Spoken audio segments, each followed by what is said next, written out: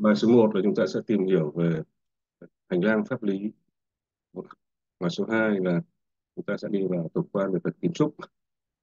rồi từ bài số 3 thì sẽ là thiết kế bậc chịu lửa, phòng cháy, phòng cách phòng cháy chữa cháy. Bài số 4 là về bố trí công năng và giải pháp thoát nạn trong một ngôi nhà. Đó. Bài số 5 là đi sâu hơn về thiết kế thoát nạn. Bài số 6 là nói về việc ngăn cháy trong và ngoài công trình. Đến bài số 7 là sẽ, ta sẽ đi vào các cái nhóm nhà cụ thể, đặc biệt ừ. đối với các cái nhóm mà có chiều cao, phòng cháy, chữa cháy lớn và sẽ đi sâu vào những cái quy định cụ thể của các cái nhóm nhà sản xuất và nhà kho trong quy chuẩn 06 quy định. Và số 8 là sẽ về cái chương 6, chuẩn 6 là về chữa cháy và cứu nạn. Phần này cũng rất là quan trọng. Rồi, như vậy là ừ, sau 8 bài thì là sẽ chúng ta sẽ đi qua phần kiến trúc những gì tất tần tật những gì quy định trong quy chuẩn 06 về kiến trúc là chúng ta phải giải quyết được trong 8 bài đầu. Sau đó chúng ta sẽ sang phần thiết kế hệ thống. Bắt đầu từ bài số 9 thì sẽ là cấp nước chữa cháy trong và ngoài nhà và hệ thống chữa cháy tự động sử dụng nước. Bài số 10 sẽ đi sâu vào tính toán thủy lực của hệ thống chữa cháy tự động, sprinkler và hệ thống chữa cháy tự động sử dụng bọt theo tiêu chuẩn 7336 2021.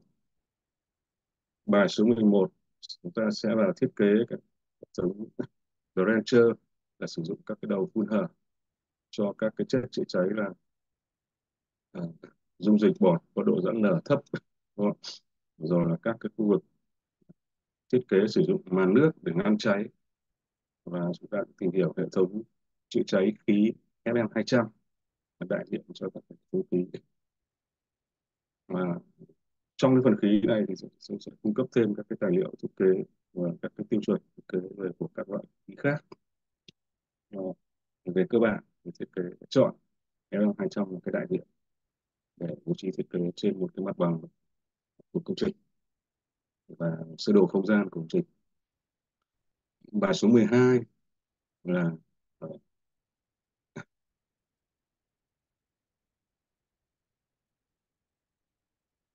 xin lỗi bài số 12 này ờ, à, đúng rồi. Thiết kế hệ thống báo cháy tự động báo cháy tự động là bài số 12 ừ. bài số 13 là chúng ta sẽ đi vào các cái chuyên môn của thiết kế các hệ thống bảo vệ chống khói.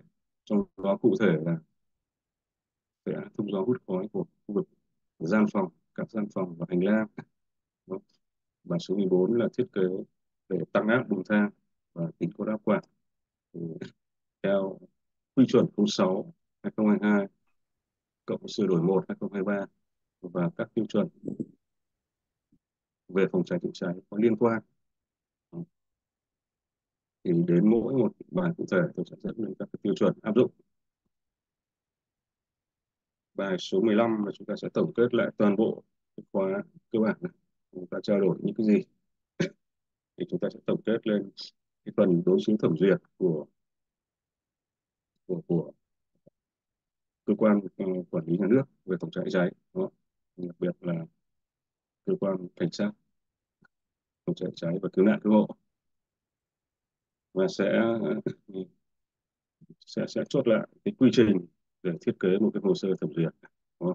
trong đó là có phân tích sâu về cái lựa chọn hệ thống chữa cháy phù hợp phù hợp đối với các cái hạng mục công trình trong một cái quần thể dự án của mình. Dự án.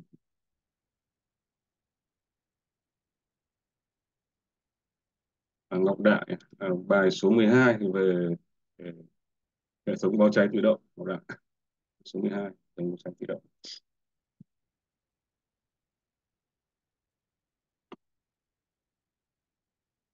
Các bạn có thắc mắc gì có comment nhé. Mình biết trả lời các bạn.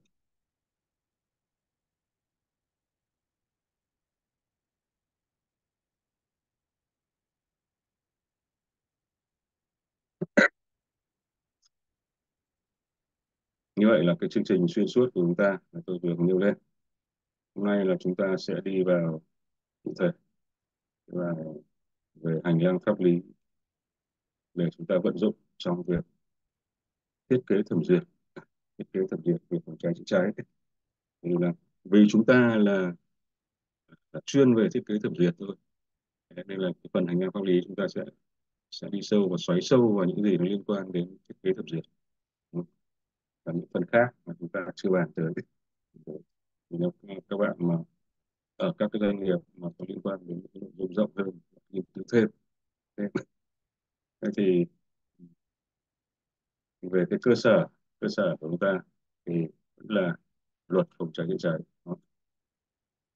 Cơ sở pháp lý chúng ta thì cũng dựa trên luật phòng cháy chữa cháy. Hiện hành đó Ờ, uh, viết tập một chút nhanh. Đó. Rồi hướng dẫn thi hành luật phòng cháy chữa cháy hành theo nghị định 136 136 năm 2020 và cái nghị định 136 thì là đang được điều chỉnh và trình các cơ quan có thẩm quyền phê duyệt để, để ban hành sửa đổi trong năm nay bây giờ là chúng ta sẽ phải quan tâm đến uh, luật đầu tư công. Luật đầu tư công. Luật đầu tư công. Nghị định 40 nghị định 40 hướng dẫn thi hành luật đầu tư công. Hướng dẫn thi hành. Luật đầu tư công. Và trước mắt chúng ta bốn cái văn bản quy, quy phạm này rồi văn bản pháp quy này văn bản pháp quy này. Ở dưới ờ, dưới nghị định thì nó sẽ có các cái thông tư cụ thể. Thì nó sẽ về các cái chuyên ngành thế còn về hành lang pháp lý là ờ, các bạn cứ sâu sát là rồi, bốn cái văn bản pháp quy này là đủ. Đủ chúng ta làm việc rồi. Thế thì ừ, sở dĩ là trước khi bắt tay vào chuyên môn là chúng ta phải nắm về pháp lý cho chắc đã để, để xác định được cái quy mô phạm vi công việc của chúng ta nó ở mức độ như thế nào độ như nào đó. từ khi là ví dụ chúng ta là người đứng đầu cơ sở đó. ta tiếp xúc với các chủ tư để nhận việc hoặc là để, để, để trao đổi về công việc hoặc là thứ hai là chúng ta là ta là những nhân viên trong một cái team đúng không? thì người giao việc chúng ta, giao ta một công việc. Thì đầu tiên chúng ta sẽ phải xác định được cái tính pháp lý của cái sự việc nó như thế nào. Tính pháp lý nó như thế nào. Và về vấn đề này thì luật và các văn bản, pháp quy quy định phải xử lý như thế nào đã?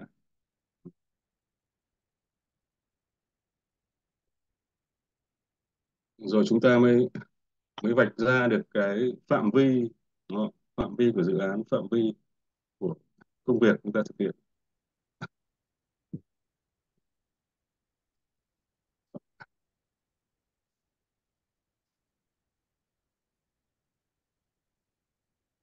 Trước hết thì tôi các bạn à, tìm hiểu các cái uh, quy định về những cái nội dung cần phải thiết kế. Nội dung cần phải thiết kế cần phải thực hiện. Trong hồ sơ thiết kế. Hồ sơ thiết kế. Nội nội dung cần phải thể hiện trong hồ sơ thiết kế. Ở đây là mình nói ngắn gọn hồ sơ thiết kế. Là thực chất bản chất của của sự việc là chúng ta phải lập hồ sơ thiết kế công trình đảm bảo an toàn phòng cháy chữa cháy đảm bảo an toàn phòng cháy chữa cháy dạ. thì đầu tiên là mời các bạn chị các bạn nghiên cứu về cái này Đó. quy định về thiết kế thì chúng ta sẽ uh, xem trong cái uh, điều 13 của nghị định 136 ấy. Điều 13 tôi sẽ rất màn hình để cho người ta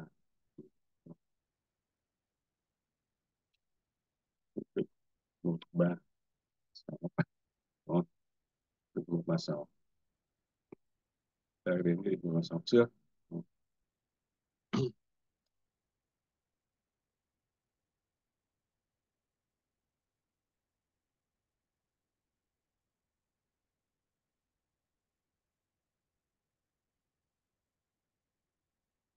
để tôi chia sẻ màn hình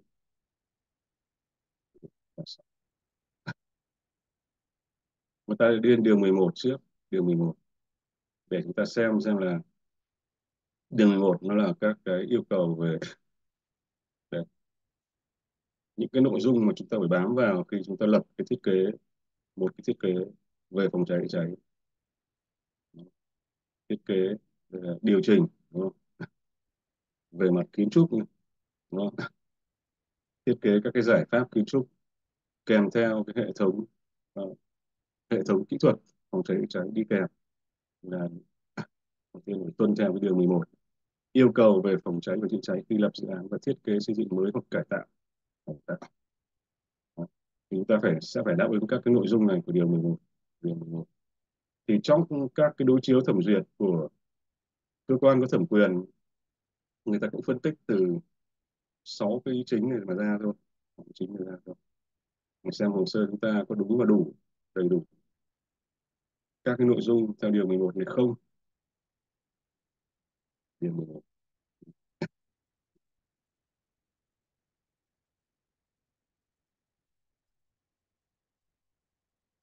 điều 11 thì chúng ta cứ trao đổi với nhau từ những cái thông thường trước từ những thông thường về về mặt hành lang pháp lý trước sau đó chúng ta sẽ đi đến những cái, cái tình huống mà nó gọi là nó phải xử lý tình huống nó phải xử lý tình huống đó. thì đầu tiên là nội dung cần phải thể hiện trong hồ sơ thiết kế điều 11 nghị định 136 đó. điều 11, nghị định 136 thế thì ở đây uh, đặt ra một câu hỏi là những công trình những công trình không thuộc diện thẩm duyệt đúng không? không thuộc diện thẩm duyệt thì như thế nào? Đó. Không thì vẫn phải vẫn phải thiết kế đảm bảo. Đảm bảo. Các yêu cầu. Tại điều 11 tại điều 11 để cơ quan chức năng kiểm tra. Mặc dù là thiết kế của chúng ta không phải thẩm duyệt. Đó, không phải thẩm duyệt. Những công trình không thuộc diện thẩm duyệt, vẫn phải thiết kế đảm bảo yêu cầu tại điểm này không thể không lập hồ sơ thiết kế được. Đủ bước, đủ nội dung, đủ ý, đủ đúng.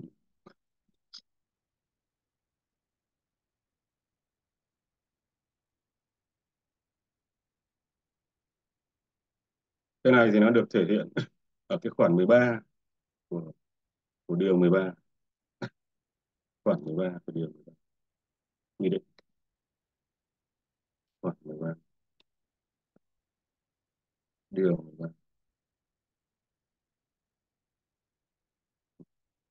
để tôi vừa lên tới câu chữ tại khoản 13 của điều 13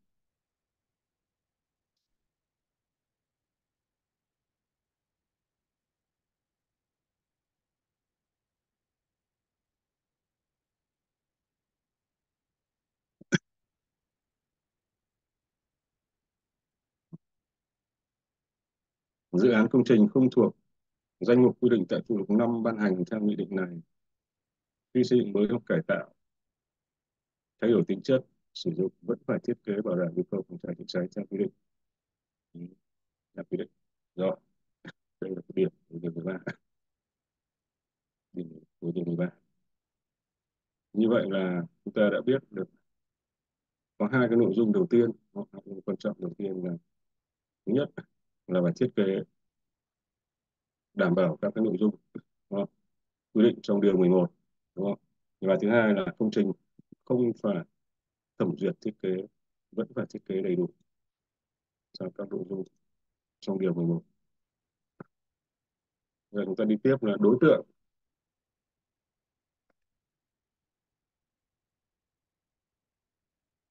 Đối tượng phải thẩm duyệt. Thiết kế. Về phòng cháy chữa cháy. Đấy, thì gồm có các cái đối tượng sau. Gồm các đối tượng sau. Chúng ta chắc là một số anh em cũng đã số anh em cũng đã thực hiện ờ, qua phần này rồi thì có thể chúng ta sẽ nghe thêm. Và những anh em nào chưa chưa qua phần này chúng ta sẽ chú ý. Thì, thì chúng ta đến khoản 3 điều 13 khoản 3 điều 13 đối tượng. Quy định của đối tượng. Khoản 3 điều 13 nghị định 136 một nguyên tắc này này. Nguyên tắc này. À, qua khoảng 3 điều 13 đối với nghị định 136 ấy, thì chúng ta ở trong vai trò là những người thiết kế thì chúng ta chỉ loanh quanh ở mấy cái mấy cái điều 10, 11, 12, 13 cái điều quan trọng nhất này. chúng ta đến khoảng 3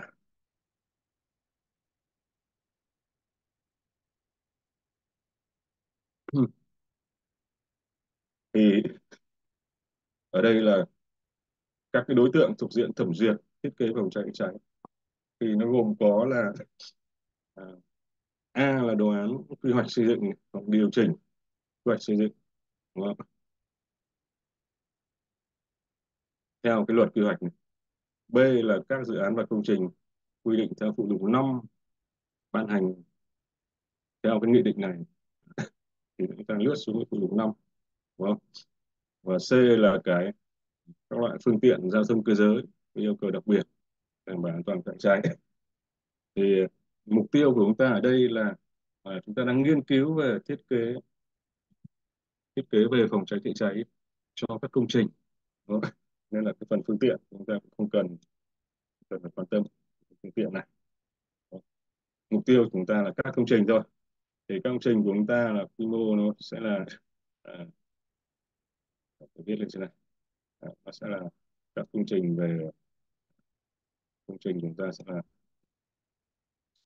công trình dân dụng này dân dụng này. Đó. nhà sản xuất và nhà kho này. À, công trình gì nữa? Các công trình về à, kho bãi này. Kho bãi này. Gara này. Dạ. gara kho bãi này thì nói luôn là ờ, uh, kho bãi về về khí đốt xăng dầu Đó. gara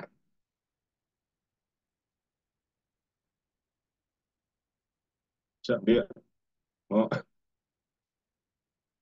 điện mặt trời đúng không?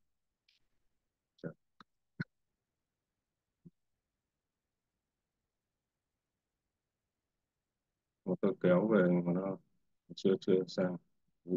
Refresh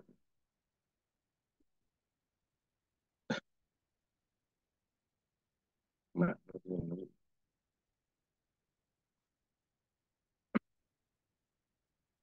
Đấy, thì các cái công trình của chúng ta sẽ là các cái đối tượng như thế này. Đó.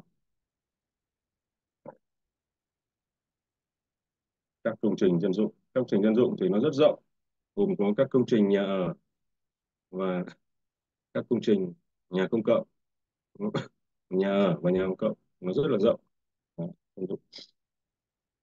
nhà ở thì có thể là ừ, nhà ờ, chung cư Đó. nhà riêng lẻ các công trình à, à, các loại ký túc xá nhà ở này. công trình dân dụng à, các công trình công cộng thì nó sẽ là các bệnh viện các trường học Đó các khách sạn và cơ sở lưu trú được thành lập theo luật du lịch Đó. các à, trung tâm thương mại siêu thị các cơ sở dịch vụ các công trình văn hóa thể thao đó. thì nó sẽ là các công trình công cộng cái nhóm đối tượng của chúng ta về thiết kế về về thiết kế hệ thống thiết kế công trình để đảm bảo an toàn phòng cháy cháy nó rất là rộng rất là rộng ngoài ra nó gồm còn có những cái cái dạng về à, kho bãi về khí đốt cơ sở sang chiết đó, các gara ô tô các trạm điện mặt trời. Vân thế thì chúng ta đang nghiên cứu về công trình chúng ta không nghiên cứu về thiết kế đảm bảo an toàn phòng cháy cháy cho phương tiện phương tiện. Thì đây là cái các cái nhóm đối tượng mà phải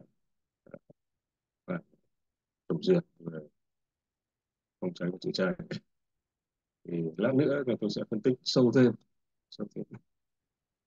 Giờ là chúng ta hiện tại là chúng ta cứ đang theo cái khoảng 3 điều 13 trước.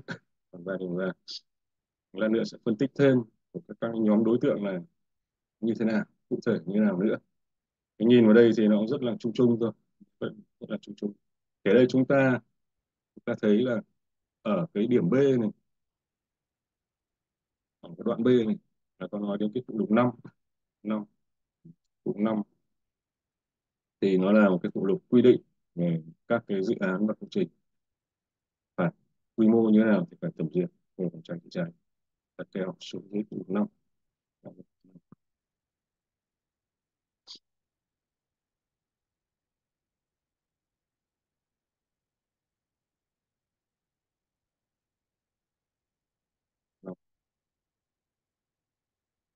thì đây là phụ lục 5 nó gồm có các cái điểm về quy định, về các cái dự án và công trình thuộc diện phải thẩm duyệt cháy và chữa cháy đó. Thì nó gồm có 21 21 điểm. Thì là cái phần phần dưới cùng nó là phương tiện phương tiện. Còn các cái điểm trên là công trình.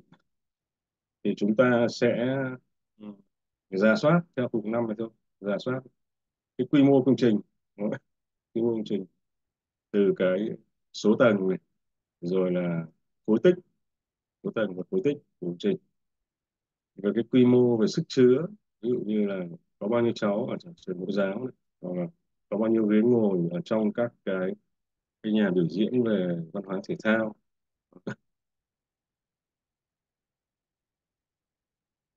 Thì đây là các cái giá trị về quy mô công trình mà chúng ta đối chiếu với phụ năm để xem là công trình chúng ta thiết kế đấy có phải thẩm duyệt không? Duyệt. Tại cơ quan cảnh sát phòng cháy cháy không?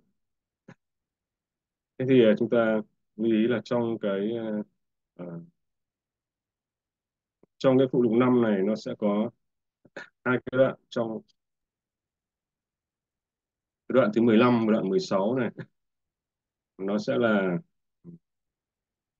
nó sẽ quy định cho các cái công trình riêng lẻ các công trình riêng lẻ mà trước khi lập trước khi lập thiết kế uh, kỹ thuật thì là phải thực hiện cái cái cái à, góp ý về về về vị trí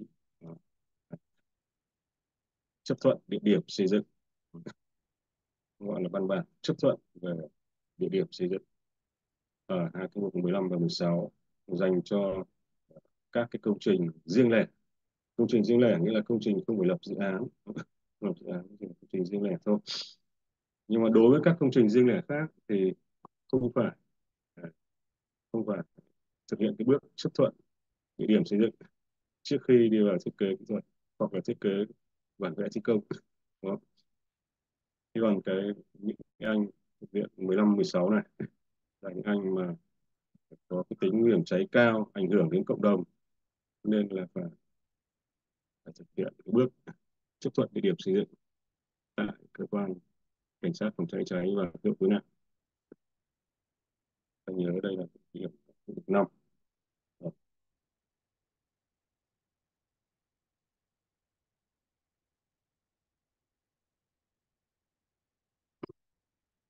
Bây giờ chúng ta sẽ đi vào cái chi tiết một chút về như vậy thì các cái diện đối tượng đó các cái đối tượng mà phải à, phải thẩm duyệt nó như nào như nào. Và chúng ta sẽ tìm hiểu là cái góp ý về về về đồ án quy hoạch cũng như là góp ý về thiết kế cơ sở nó như thế nào. À, thì uh, sẽ sẽ sẽ sẽ phân tích kỹ một chút còn nếu mà chúng ta xem trong một ba sáu này, thì nó sẽ không đầy đủ Được. Chuyển sang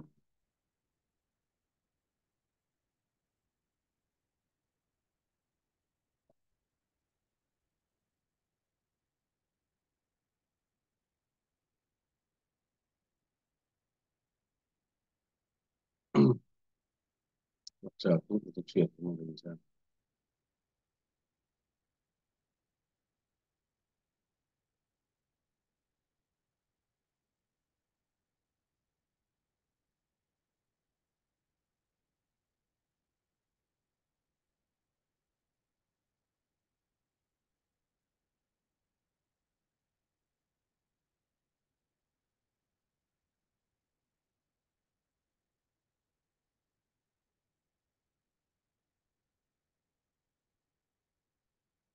ta sẽ đi vào từng nhóm cụ thể đối tượng. Đối tượng mà phải góp ý. Phải góp ý về đồ án quy hoạch.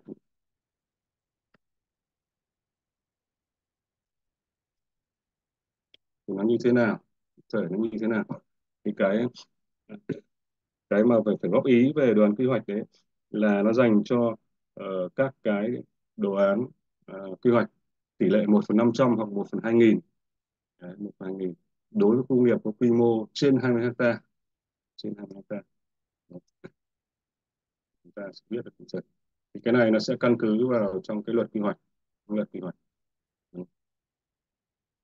tỷ lệ này một phần năm trăm hoặc một phần hai nghìn. Đối với các khu công nghiệp trên 20 ha trên 20 ha rồi, còn gì nữa nào trường hợp là một cái dự án đầu tư xây dựng do một chủ tư tổ chức thực hiện, thì sẽ có quy mô từ ờ, 5 hecta. Dự án đầu tư xây dựng do một chủ tư. Trong luật quy hoạch dự án đầu tư xây dựng do một chủ đầu tư thì sẽ là trên 5 hecta. 5 hecta xem có cái dấu bằng không. Từ 5 hecta, từ 5 hecta là có dấu bằng. Từ 5 hecta do một chủ tư thực hiện nhé. Hoặc là từ 2 hecta hecta nếu nếu là khu nhà ở. Khu nhà nếu là khu nhà chung cư nếu là, đó là chung cư chung cư thì cái loại đối tượng này là phải góp ý về đoàn quy hoạch này. còn nếu mà khu nghiệp mà nó nhỏ hơn 20 hecta thì không cần phải góp ý về đoàn quy hoạch đó rồi là ví dụ như uh, chung cư đó mà một chủ tư đầu tư dựng mà nó nhỏ hơn 2 hecta thì cũng không cần phải phải góp ý uh, góp ý góp ý về mặt phòng cháy chữa cháy. Phòng cháy chữa cháy. Nghĩa là góp ý những cái, cái yêu cầu về an toàn cháy. An toàn cháy.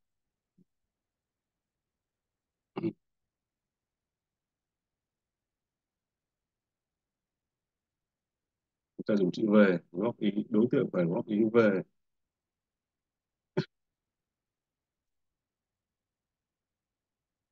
Về phòng cháy chữa cháy và quy hoạch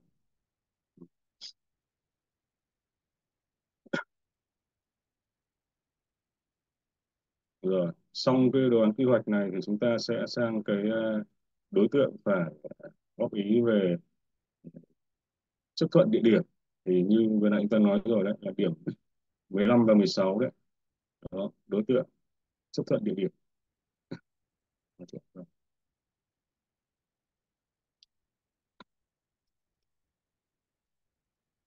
thuận địa điểm. Địa điểm đây là địa điểm xây dựng. Đó theo đó. 15 gọi điểm được đoạn 15 16 của phụ lục 5 phụ lục 5 Người ta một chút nghị định 136 36 đó 36 như chúng ta vừa nói ở ở khúc trên rồi. Đó chúng ta nhắc lại và hệ thống hóa nó ở đây. Đầu tiên là đối tượng phải góp ý về phòng cháy cháy đối với các loại đồ án quy hoạch này. Đó. thì các bạn nhớ là các loại đường quy hoạch tỷ lệ 500 hoặc 1 phần 2 nghìn đối với các khu nghiệp trên 20 hecta và dự án do chủ tư thì 5 hecta và nếu là chung cư thì là từ 2 hecta. Rồi, rồi đối tượng được chấp thuận địa điểm xây dựng.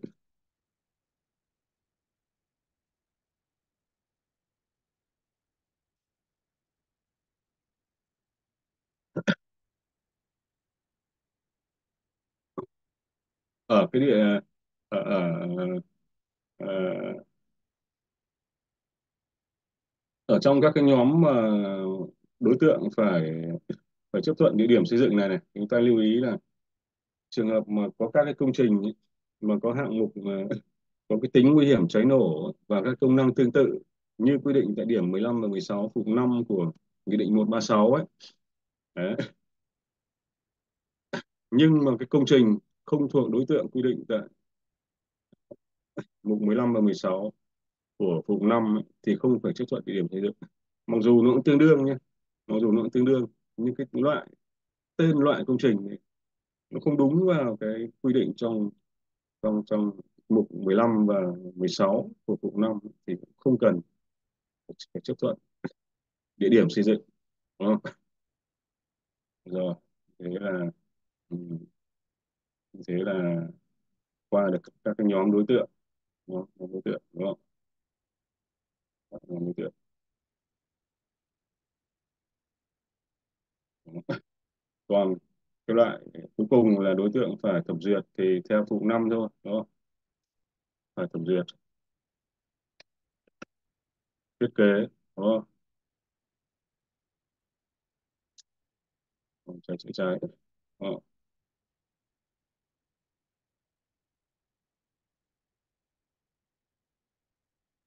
thì là các dự án và công trình đó.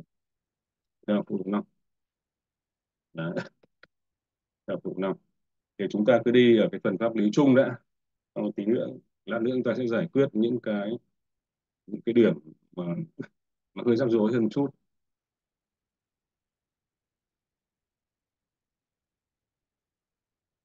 đây là phần pháp lý chung Đó.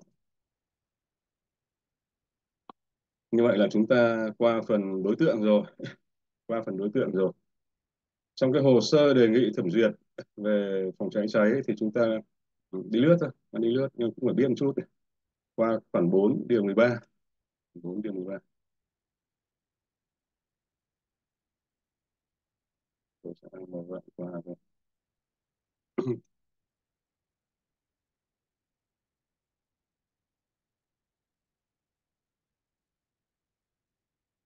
Trong các cái uh, công ty thiết kế thì các cái uh, việc chuẩn bị hồ sơ để nộp thẩm duyệt ấy, thì uh, thường thường là do các cái bạn bên bộ phận nội nghiệp người ta phụ trách. Thì chúng ta cũng cần biết chút để để chúng ta gọi là phối hợp phối hợp rồi còn việc đấy là có bộ phận nội nghiệp người ta làm rồi nghiệp của các công ty người ta làm rồi. Còn khoảng 4 điều 13 thì khoản 4 điều 13 sẽ quy định là hồ sơ đề nghị thẩm duyệt thiết kế về phòng cháy chữa cháy ấy, thì nó gồm những văn bản chính như này. Thứ nhất là đối với đồ án quy hoạch thì văn bản đề nghị xem xét nó theo mẫu số P06 của cái uh, chủ đầu tư chủ tư đề nghị trong văn bản hoặc là người được ủy quyền, đơn vị ủy quyền. Thường thường là, thường thường là chủ tư, phần lớn các trường hợp mà chủ tư sẽ ủy quyền cho cái đơn vị thiết kế thẩm duyệt phòng cháy cháy này. Có giấy ủy quyền để để để cái ông thiết kế phòng cháy cháy này đứng ra, đứng đơn, đề nghị thẩm duyệt, đúng không? thì đơn này kèm theo các tài liệu về ờ, chuyên môn, về quy hoạch chi tiết này. 1 phần 2 nghìn. Một phần năm trăm. Rồi là các cái nội dung. Nội dung yêu cầu giải pháp. Theo cái khoản 4 điều 10 điều 10 là là nội dung của cái uh, của cái mà cái hồ sơ đề nghị đề nghị thực hiện đối với cái đồ án quy hoạch thì à, lát nữa chúng ta sẽ sẽ lên khoản 4 điều 10 xem về quy hoạch đó đối với chấp thuận địa điểm xây dựng trước khi tiến hành thiết kế công trình độc lập cũng như nguy cơ cháy nổ này theo các mục 15, 16, cùng 5 này ban hành này thì cũng phải có hồ sơ này văn bản chấp thuận này đó. trường hợp ủy quyền thì phải có giấy ủy quyền này đó. giấy chứng nhận quyền sử dụng đất này hoặc văn bản chứng minh tương đương đó. Đó. các bản vẽ tài liệu thể hiện rõ hiện trạng địa hình khu đất liên quan đó. mặt bằng tổng thể và các mặt bằng chi tiết của công trình đó. đối với thiết kế cơ sở uh, của dự án này dự án và công trình này thì cũng là văn bản đề nghị theo mẫu P06 này P06 là cái mẫu PC06 là mẫu ở trong nghị định 136 này. À, trường hợp ủy quyền thì phải có giấy ủy quyền này. Rồi là nó có thêm cái quyết định phê duyệt chủ trương đầu tư nếu như là sử dụng à, nguồn vốn công này. Còn nếu như chúng ta nguồn vốn không phải nguồn vốn công thì không cần quyết định này. Rồi văn bản chấp thuận chủ trương đầu tư nếu có dự án lớn hoặc giấy chứng nhận đăng ký đầu tư nếu có thì nó theo theo những quy định về luật đầu tư đối với các cái mức độ dự án tại từng địa phương. Và giấy chứng nhận quyền sử dụng đất. Rồi. giấy tờ xác nhận điều kiện à, xác nhận đủ điều kiện kinh doanh dịch vụ phòng cháy cháy của đơn vị tư vấn à, thiết kế phòng cháy cháy. Rồi. Và các bản vẽ và các thuyết minh. Thì đương nhiên rồi. Thì à,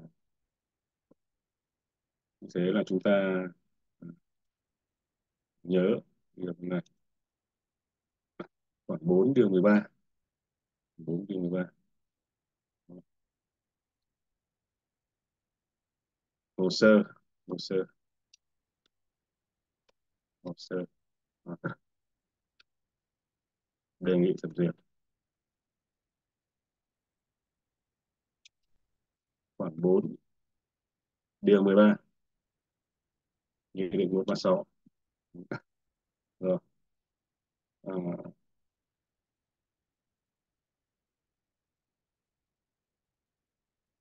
sau đây là chúng ta sẽ vào các cái nội dung. Nội dung hồ sơ. Nội dung hồ sơ. Cần thẩm duyệt. Nội dung uh, hồ sơ. Thiết kế thẩm duyệt.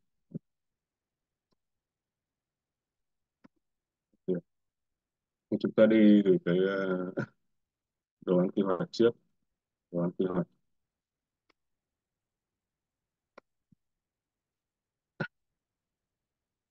nội dung hồ sơ. Đồ án quy hoạch này sẽ sẽ là cái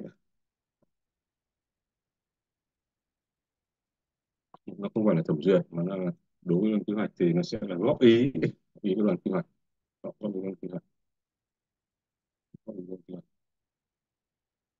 cái này tôi cứ phải gõ phát thứ hai thì nó mới chuyển được. Phát thứ hai nó chuyển nó đang chuyển nhầm. Này còn cái này.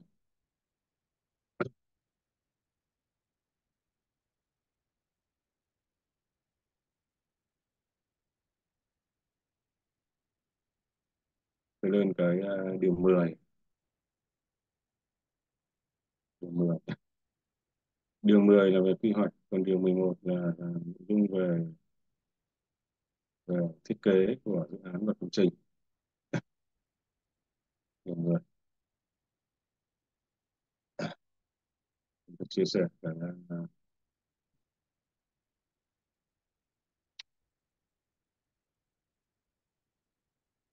điều 10 nghị định 136 136 như vậy nhé.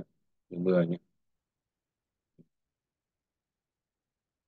rồi điều 10 này yêu cầu về phòng cháy và chữa cháy khi lập quy hoạch xây dựng hoặc là quy hoạch điều chỉnh Đó. theo luật quy hoạch này Đấy. Thì các cái nội dung mà chúng ta phải thể hiện để cơ quan chức năng người ta góp ý về quy hoạch góp ý về quy hoạch rồi thứ nhất là địa điểm xây dựng công trình cụ công trình bố trí các khu đất các khu chức năng Đó. À, rồi đưa lên các cái uh, giải pháp bảo đảm chống cháy lan và các cái giải pháp uh, giảm thiểu thiệt hại doanh nghiệp và có sinh ra trong đám cháy. Rồi là điểm thứ hai về quy hoạch nghĩa là cái hệ thống giao thông. Hệ thống giao thông khoảng trống này, tải trọng của đường này và phải tuân theo các cái yêu cầu đảm bảo cho các cái phương tiện cơ giới triển khai hoạt động chữa cháy. Thế thì những cái nội dung như thế này này những cái nội dung như này này nó sẽ được quy định trong cái phần chuyên môn của quy chuẩn 06 chúng ta sẽ nghiên cứu theo từng chương nghiên cứu theo từng chương. Thì tôi sẽ không không để là theo thứ tự từ từ nhỏ đến lớn mà mà sẽ là theo cái theo cái thứ tự thường có của các cái đối chiếu hoặc là ừ, của các cái bản thiết kế của chúng ta. Sẽ phải đi những cái bước như thế này như này như nào cho nó thuận lợi. Tôi cũng sẽ không, không chia sẻ từ chương 1 cho đến Ờ, đến gọi là chương 6 chương 1 đến chương 6 rồi là các phụ lục thì cũng không đi từ phụ lục A đến phụ H mà chúng ta sẽ đi làm sao cho nó phù hợp nhất để chúng ta trao đổi. Cái thứ ba là về quy hoạch này, phải có nguồn nước chữa cháy này hệ thống thông tin liên lạc này. Đó. Về quy hoạch, về quy hoạch. Tư tư là bố trí địa điểm xây dựng uh, doanh trại cho cái đơn vị cảnh sát phòng cháy cháy Đó. khi mà anh lập quy hoạch của một cái dự án lập quy hoạch của dự án. những cái yếu tố bố trí Đó. bố trí cái ờ, vị trí địa điểm à, cũng là cái yêu cầu của quy hoạch rồi năm là cái dự toán kinh phí thì đây là cái việc của chủ tư thì tiện đang cái điều 10 này chúng ta kéo xuống luôn điều 11 là nó là về cái yêu cầu phòng cháy cháy khi lập dự án và thiết kế xây dựng mới hoặc là cải tạo các công trình, cải tạo công trình, cải tạo công trình. Thì chúng ta cũng phải đáp ứng đáp ứng ở đây là sáu cái chính, sáu cái điểm chính trong cái điều 11 này. Điều 11 này là đối với dự án và công trình dự án và công trình. Và nốt nó vào đây.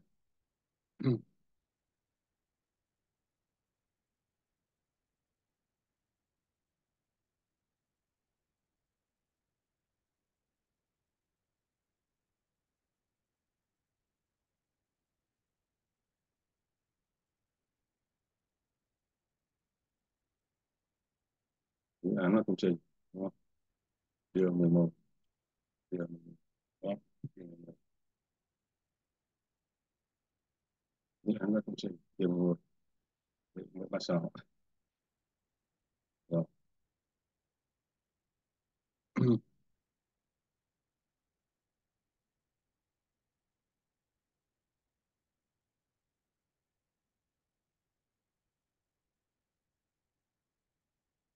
rồi ta sẽ đi tiếp những cái điểm quan trọng về hành lang pháp lý.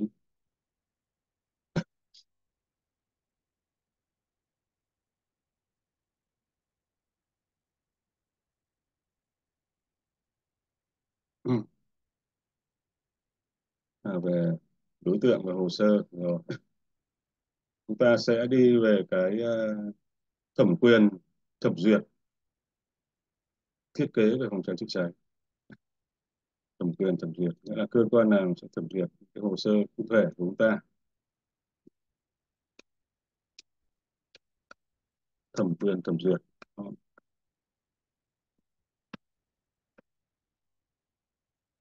đối về sai cháy sai đây thẩm quyền, thẩm duyệt dạ.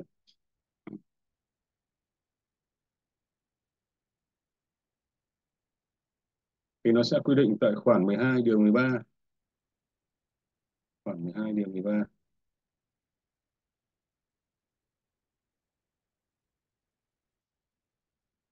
điều 13 nghị định 136 36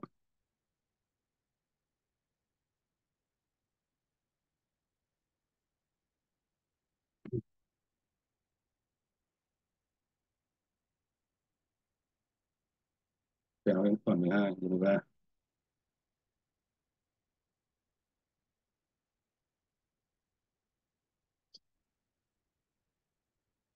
Cục Cảnh sát phòng cháy chữa cháy và cứu cứu nạn cứu hộ sẽ thẩm duyệt các cái đối với các cái dự án và công trình.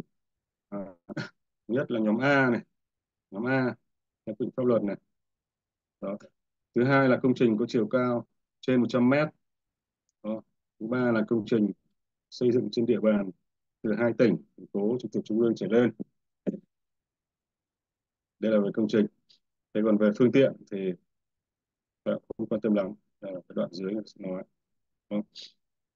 nghĩa là cục tôi sẽ thẩm duyệt là dự án này uh, quan trọng quốc gia và dự án nhóm A. Đó. rồi là các công trình chiều cao trên 100 mét. Rồi. Rồi các công trình trải dài trên địa bàn từ hai tỉnh và thành phố trực thuộc trung ương trở lên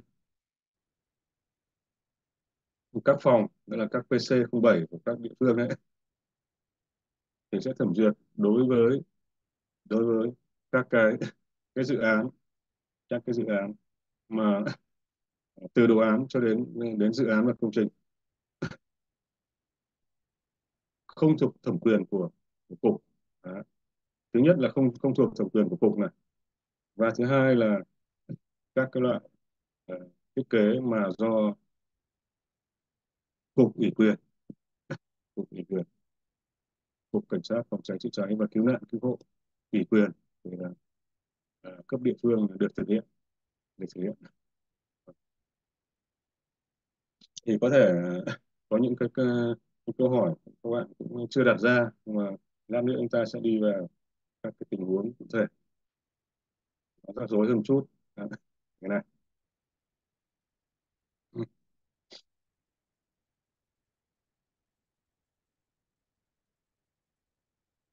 Rồi chúng ta xong cái phần à, nói về thẩm quyền rồi thì chúng ta sẽ đi thêm một chút về cái về cái gọi là phân loại dự án đó, phân loại dự án. Phân loại dự án. Để biết là khi nào nó là nhóm A đúng không? Khi nào là dự án khi nào là dự án quan trọng quốc gia đó. khi nào là dự án quan trọng quốc gia thì sẽ quy định uh, quy định tại luật đầu tư công luật đầu tư công. Vâng.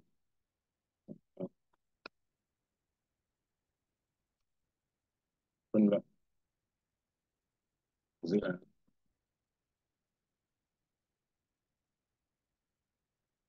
Theo luật đầu tư công.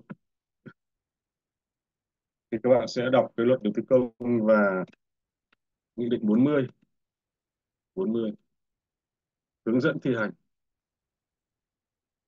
Luật đầu tư công. Ở đây lấy vào cái ví dụ. Lấy vào ví dụ. Ừ.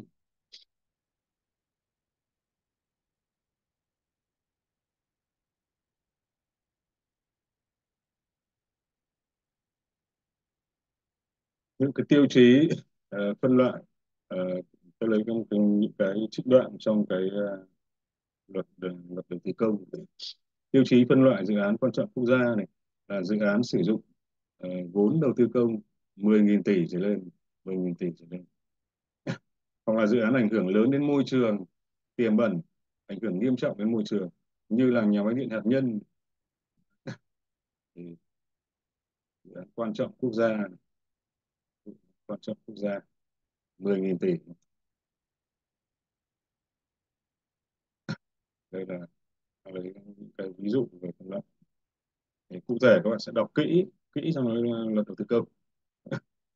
Một số ví dụ. Về dự án quan trọng quốc gia. Nhất là 10.000 tỷ trở lên.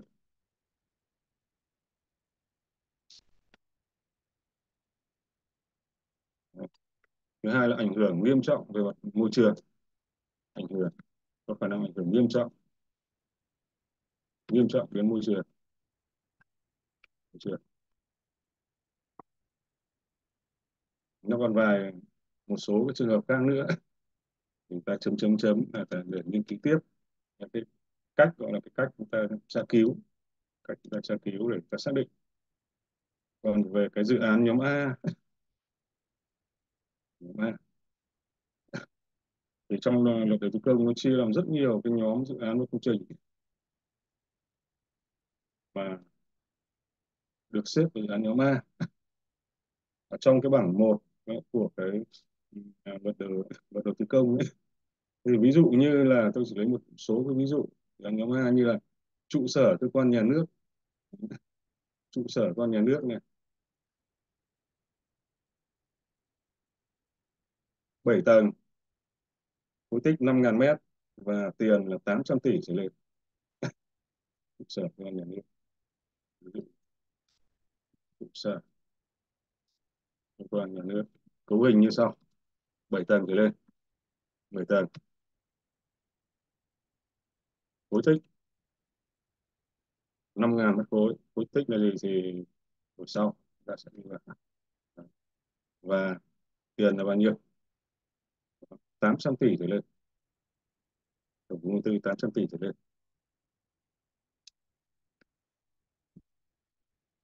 Là nhóm A. Đây một số ví dụ nữa. Không được không được chuyển màn hình.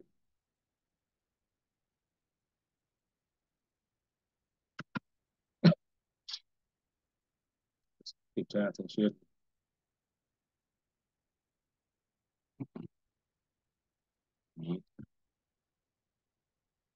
Kéo lên màn hình trên để các bạn xem. Ví dụ về dự án quan trọng quốc gia trường hợp thứ nhất là vốn đầu tư tổng vốn đầu tư 10.000 tỷ lên ví dụ thứ hai là cái dự án nó ảnh hưởng nghiêm trọng về môi trường. Ví dụ như nhà máy điện hạt nhân chẳng hạn. Có khả năng gây ảnh hưởng nghiêm trọng đến môi trường. Trong luật đầu tư công này, khoản định 40 rồi là một số ví dụ về dự án nhóm A này. Thì là ví dụ thứ nhất là trụ sở cơ quan nhà nước 7 tầng, diện tích 5.000 khối, tổng vốn đầu tư là 800 tỷ. Tỷ đây Đó. hay là khu nhà ở, khu nhà ở thì 2.300 tỷ trở lên.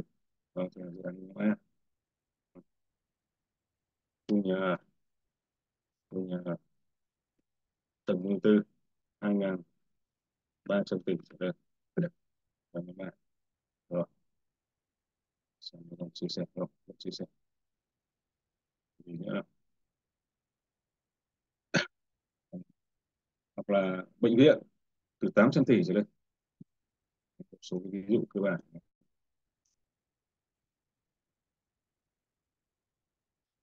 Bệnh viện, từ 800 tỷ trở lên. Sẽ là nhóm A đó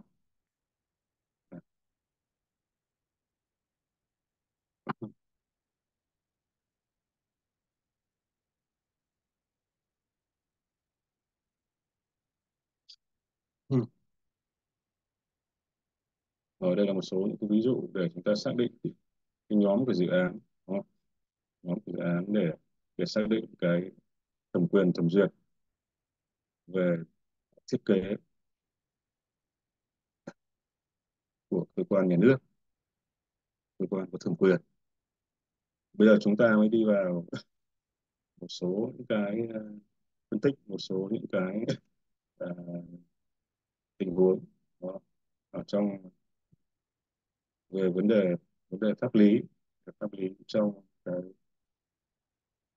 lĩnh vực thiết kế phòng cháy cháy này đúng không?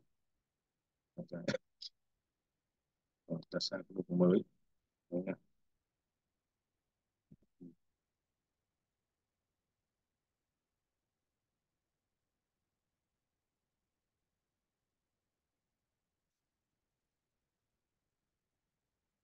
Số vấn đề cần lưu ý. Cần lưu ý.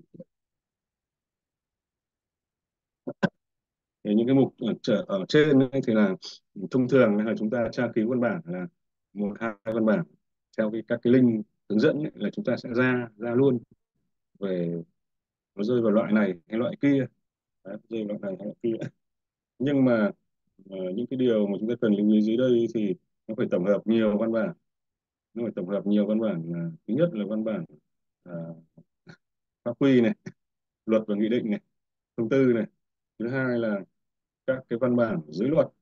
Đó, các văn bản dưới luật. Và dưới luật về hướng dẫn thực hiện.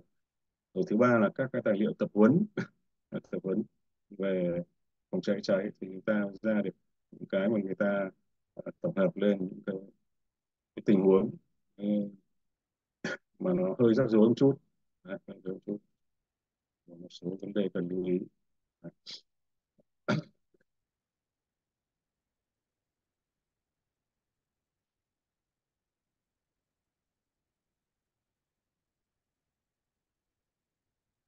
rồi để một, hai, ba, bốn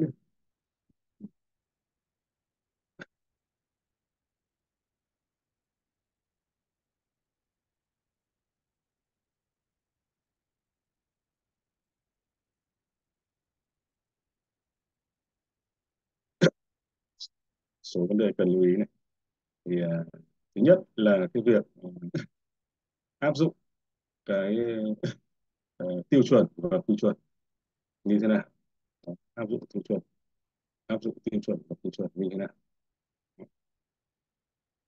Thứ nhất là áp dụng tiêu chuẩn và quy chuẩn. Và hồ sơ thiết kế như thế nào. Đó nó sẽ kiểu kế như là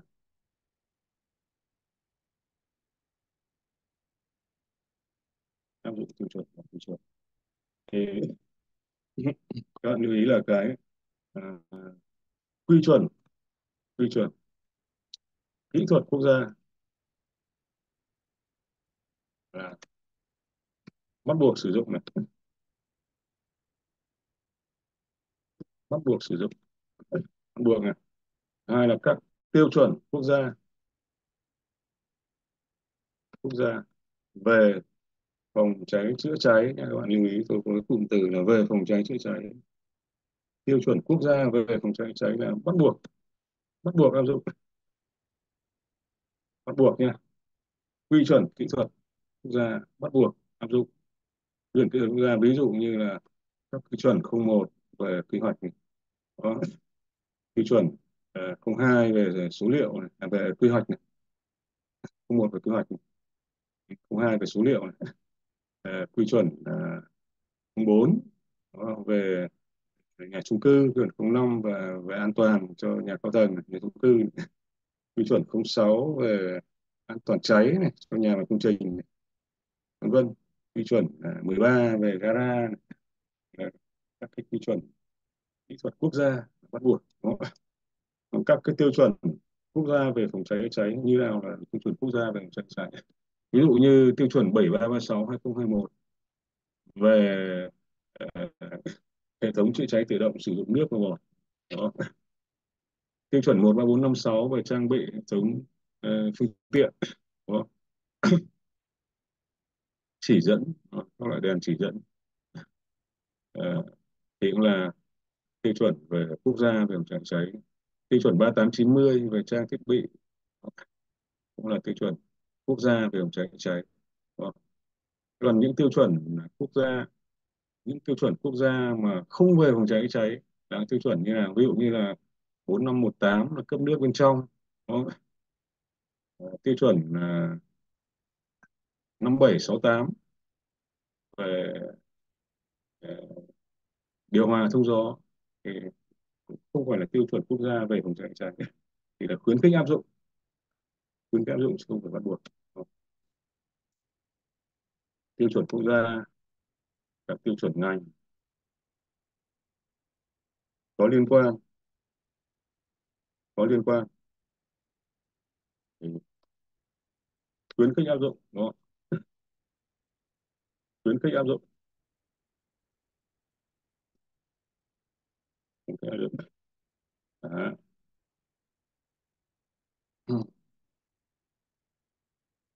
Là, đây là các tiêu chuẩn về, ờ, của Việt Nam đó. Đó các cái tiêu chuẩn tiêu chuẩn nước ngoài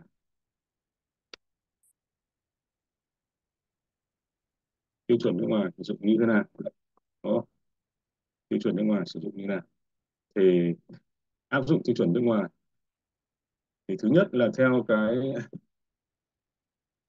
xin lỗi.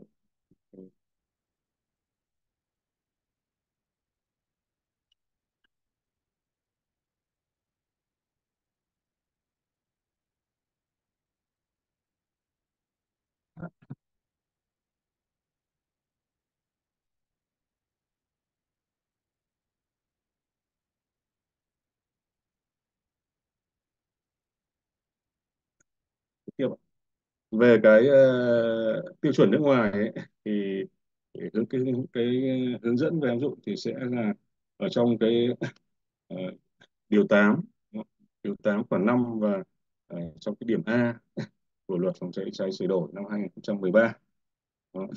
hướng dẫn về về áp dụng tiêu chuẩn nước ngoài Đó. điều 8 và uh,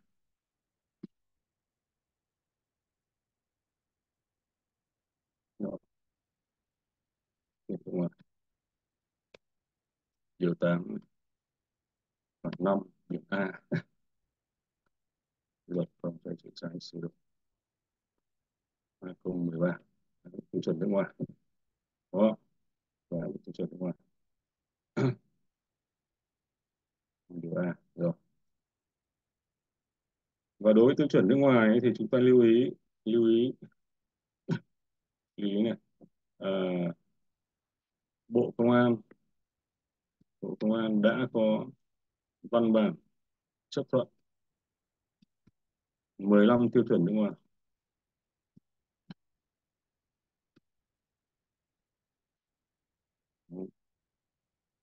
Về phòng cháy chữa cháy. Phòng cháy. thì ờ, ta ta sẽ nói cái đoạn này sau sau một chút, nghĩa là cái phần lưu ý này là sẽ đưa lên cái thông tin là Bộ Công an đã có cái văn bản chấp thuận 15 cái tiêu chuẩn nước ngoài về phòng cháy cháy. Và ta sâu lên cái văn bản trước, văn bản đấy của năm năm ngoái. Và năm ngoái. Thì cái văn bản này là chấp thuận chấp thuận chấp thuận nghĩa là gì thì cái việc mà việc mà Bộ Công an đã chấp thuận áp dụng các tiêu chuẩn các cái tiêu chuẩn mà có cái danh sách ở dưới này. Đó. 15 cái tiêu chuẩn cụ thể này. Có danh sách này. Thì nghĩa là chúng ta sẽ uh, được quyền áp dụng được quyền áp dụng và không phải thực hiện các cái thủ tục về uh, các cái thủ tục về việc về việc là sẽ phải trình hồ sơ. Trình hồ sơ trong đó trong hồ sơ chúng tôi sẽ áp dụng các tiêu chuẩn nước ngoài theo cái quy trình thông thường nữa. Thì đây là cái, cái danh sách. Theo cái văn bản 4158 ngày 15 6 năm 2023 của năm ngoái ấy. ngoái. Các bạn download văn bản này về 4158 thì ở đây nó có 15 cái tiêu chuẩn đương nhiên được sử dụng. Đương nhiên được sử dụng. đầu tiên là FP241 Nga, về thiết kế cái hệ thống ờ, phòng cháy cháy cho các cái kệ hàng trên 5 mét rưỡi. Rồi NFPA 13 2022 rồi các cái tiêu chuẩn có tên dưới đây. Thế thì ờ, chúng ta lưu ý một cái một cái lưu ý ở trong này là cái trong cái cái đoạn cuối cùng của, của văn bản ấy, thì khi có phiên bản mới thay thế thì phải được xem xét chấp thuận áp dụng theo quy định Đấy. nghĩa là khi có phiên phiên bản mới thì vẫn phải trình như bình thường trình như bình thường trình như bình thường Đó. Đó. trình như bình thường còn nếu chưa có phiên bản mới mà chúng ta đang sử dụng các cái phiên bản trong danh mục đã được chấp thuận từ trước của Bộ Công an như này thì chúng ta sẽ không trình nữa, trình nữa. thì à, trình là trình như thế nào? Trình là ví dụ như có có đoạn về à, áp dụng tiêu chuẩn nước ngoài trình tự thực hiện đấy Đó.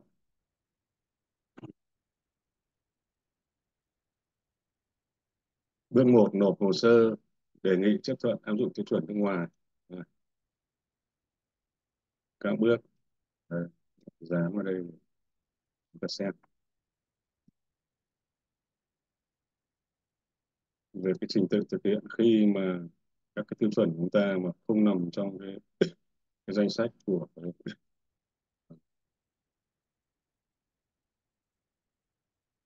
nó sẽ có ba bước là khi chúng ta thực hiện tiêu chuẩn nước ngoài, nộp hồ sơ đề nghị chấp thuận sử dụng bước hai C07 xem xét ra văn bản chấp thuận.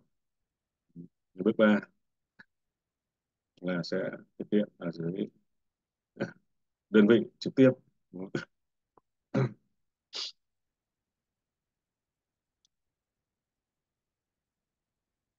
Khi nộp hồ sơ thẩm duyệt chủ tư phải gửi tiêu chuẩn nước ngoài tiêu chuẩn quốc tế bản gốc và có bản dịch chứng thực kèm theo thì cái này là đối với đối với các cái tiêu chuẩn mà chúng ta đề nghị không có tên trong cái danh mục 15 cái tiêu chuẩn nước ngoài mà được Bộ Công an chấp thuận thì chúng ta sẽ phải, phải thực hiện các cái bước à, bước này.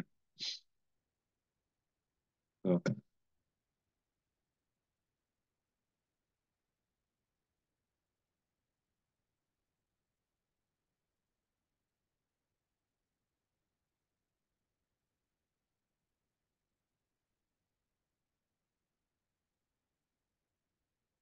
Thế là chúng ta vừa mới đi qua cái ờ, phần mà nói về là sử dụng tiêu chuẩn và quy chuẩn như thế nào. Sẽ gồm có hai phần. Thứ nhất là tiêu chuẩn Việt Nam và quy chuẩn kỹ thuật quốc gia. Và cái thứ hai là hệ thống tiêu chuẩn nước ngoài. Thì như thế nào? Rồi. Là chúng ta sẽ ờ, đi tới một số những cái, cái điểm tiếp theo. Tiếp theo.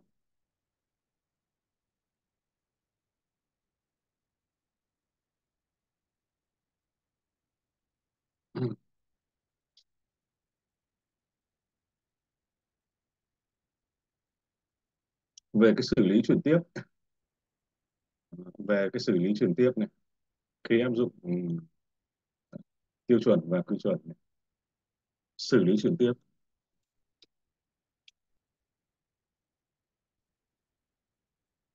xử lý trực tiếp này. Cái áp dụng này. Cái áp dụng. Thì uh, tiêu chuẩn và quy chuẩn.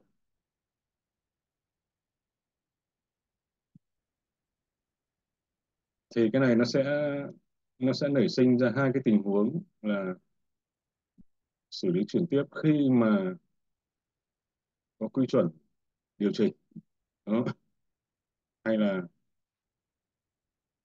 nó nó nó là dạng điều chỉnh như là dạng sửa đổi một vừa rồi của của quy chuẩn 06 2012 đấy. Hoặc là nó thay thế. Hoặc là nó thay thế phiên bản. Thì là thứ nhất là đối với quy chuẩn. Đối với quy chuẩn, xử lý chuyển tiếp như thế nào? Đối với quy chuẩn đó. thì xử lý trực tiếp cái áp dụng nha à, đối với đối với các à, thiết kế thiết kế cơ sở cái thiết kế cơ sở là cái thiết kế ở cái bước mà ta đang đang lập dự án ấy. lập dự án nó nằm ở trong cái tài liệu của báo cáo nghiên cứu khả thi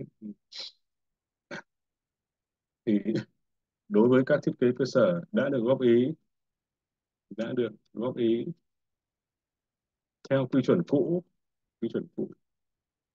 Quy chuẩn cũ. Thì có thể là theo 06 uh, 2022 chưa điều chỉnh đúng không? chưa có sửa đổi một.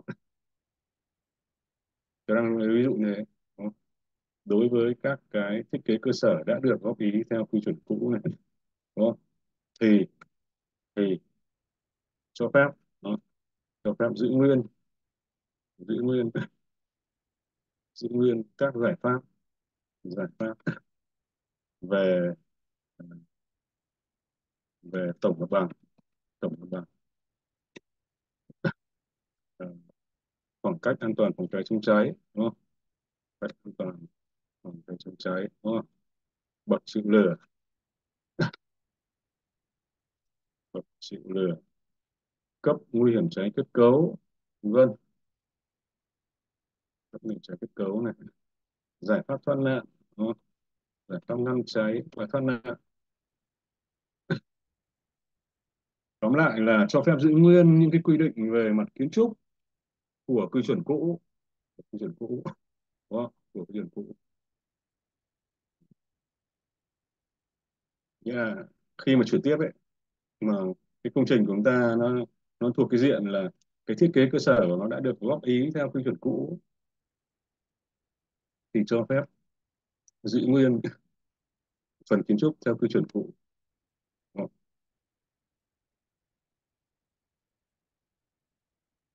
Còn cái phần hệ thống đó, không, nhá. phần kiến trúc nha, theo theo theo quy chuẩn cũ nha, Đấy, chúng ta nhớ nha. tất tật các cái giải pháp về tổng mặt bằng về khoảng cách phòng cháy chữa cháy này bậc chịu lửa vân vân giải pháp ngăn cháy thoát nạn thì nó đều là các yêu cầu an toàn cháy của phần kiến trúc, đúng không? thế còn hệ thống hệ thống, đúng không? hệ thống ừ. phòng cháy chữa cháy đó. phòng cháy chữa cháy thì áp theo tiêu chuẩn hạn đó.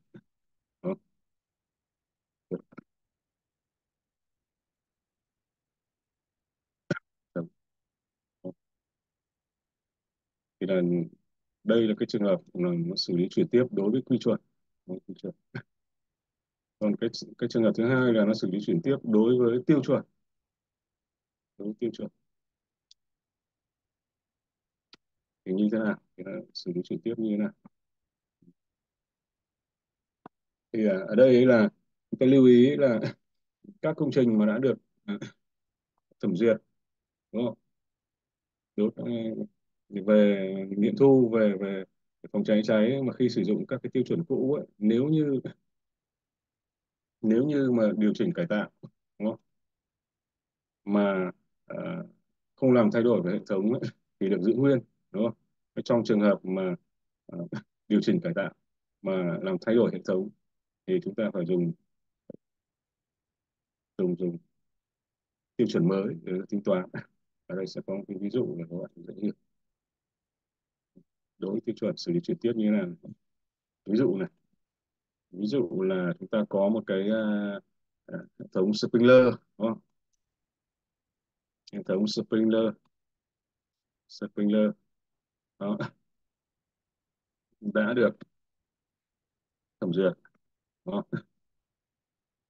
và nghiệm thu nghiệm thu theo tiêu chuẩn Việt Nam 7336 2003 đó 2003 đi.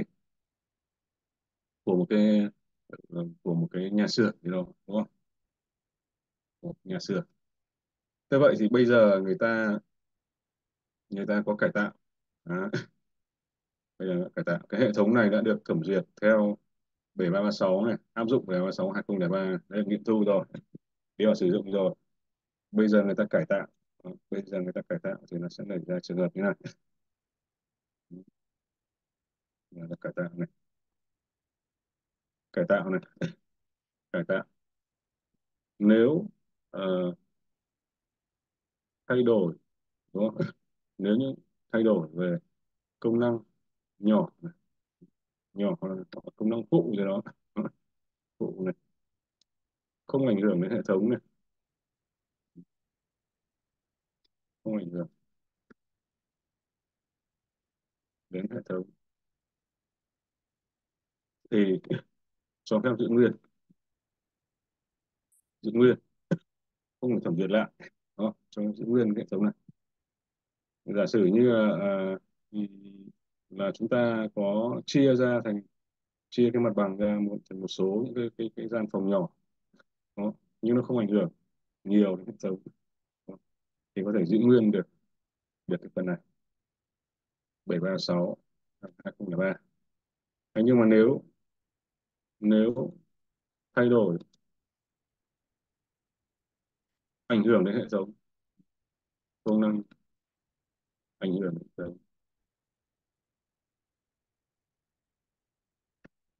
ví dụ như là phải đi thêm ống phân phối đúng không? Phải uh, bổ sung thêm Ờ, công suất của bơm, đúng không? Ảnh hưởng đến hệ thống thì phải thẩm duyệt lại.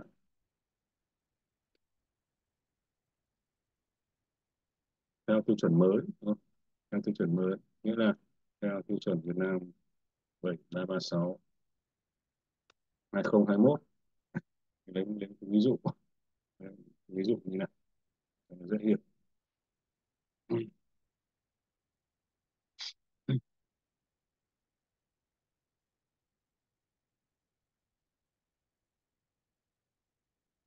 Ở đây là cái à, cái lưu ý về cái xử lý trực tiếp. Xử lý trực tiếp. Một là áp dụng tiêu chuẩn một quy chuẩn hai là xử lý trực tiếp.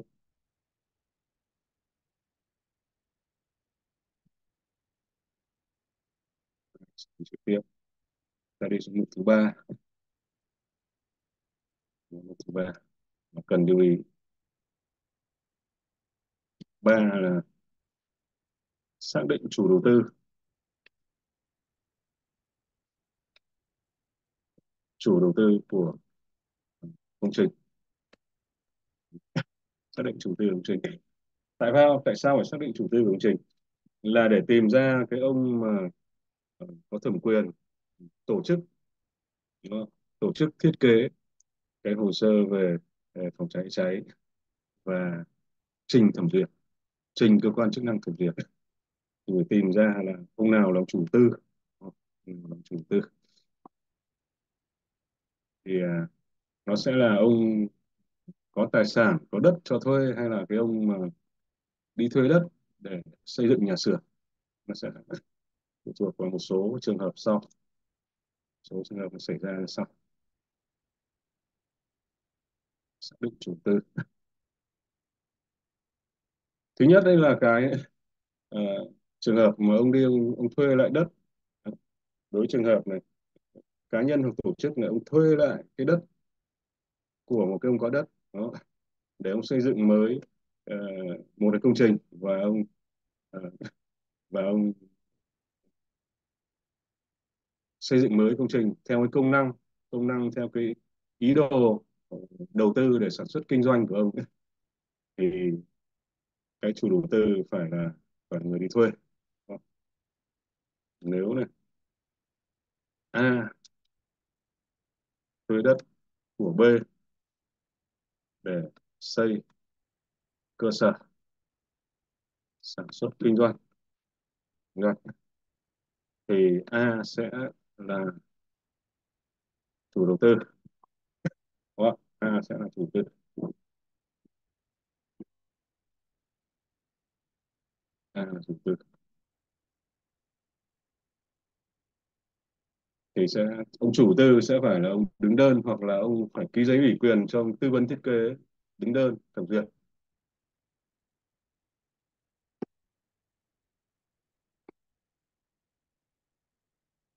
Thứ hai thứ hai là ông là một ông đi thuê. Ông là một à, cá nhân hoặc tổ chức. Ông đi đến ông thuê nhà của người ta cái công trình đã được cái, cái công trình của người ta đã được uh, xây dựng rồi này. Đương nhiên là nó đã được đã được thẩm duyệt và đã được nghiệm thu về mặt phòng cháy cháy này. Sau đó ông ông, ông thuê nguyên đúng không? Ông thuê toàn bộ cái nhà người ta về. Sau đó ông cải tạo ông chuyển đổi công năng đúng không? Thì cái ông chủ tư vẫn vẫn là ông đi thuê. Vẫn là ông đi thuê trường hợp thứ hai là ông ông không thuê đất mà ông thuê một cái uh, A nếu A thuê toàn bộ nhà toàn bộ nhà của B mà cái nhà đấy đã được nghiệm thu về phòng cháy chữa cháy thì đương nhiên nó phải thẩm duyệt rồi mới được nghiệm thu đúng không? để cải tạo để cải tạo thay đổi công năng. Đó, công năng. Phục vụ sản xuất kinh doanh theo ý đồ của mình. Thì chủ tư thì thì thì A sẽ là chủ tư. A sẽ là chủ đầu tư. Đấy, đây là trường hợp thứ hai. Trường hợp thứ nhất là ông thuê đất trường hợp thứ hai là ông thuê nhà muốn cải tạo thì ông vẫn phải là chủ đầu tư. Trường hợp thứ ba. Trường hợp thứ ba là ờ, công trình đã được thẩm duyệt về phòng cháy cháy nhưng mà chưa được nghiệm thu. À, cũng cũng thuê như thế nhưng mà chưa được nghiệm thu.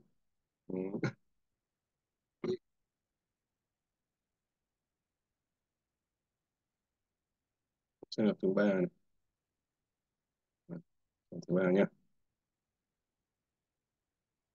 nếu A thuê toàn bộ nhà của B này nhưng nó thay đổi ở cái yếu tố mở ngoặc này đã được thẩm đúng không đã được thẩm duyệt về phòng cháy cháy mình viết tắt là thẩm rồi, đúng không nhưng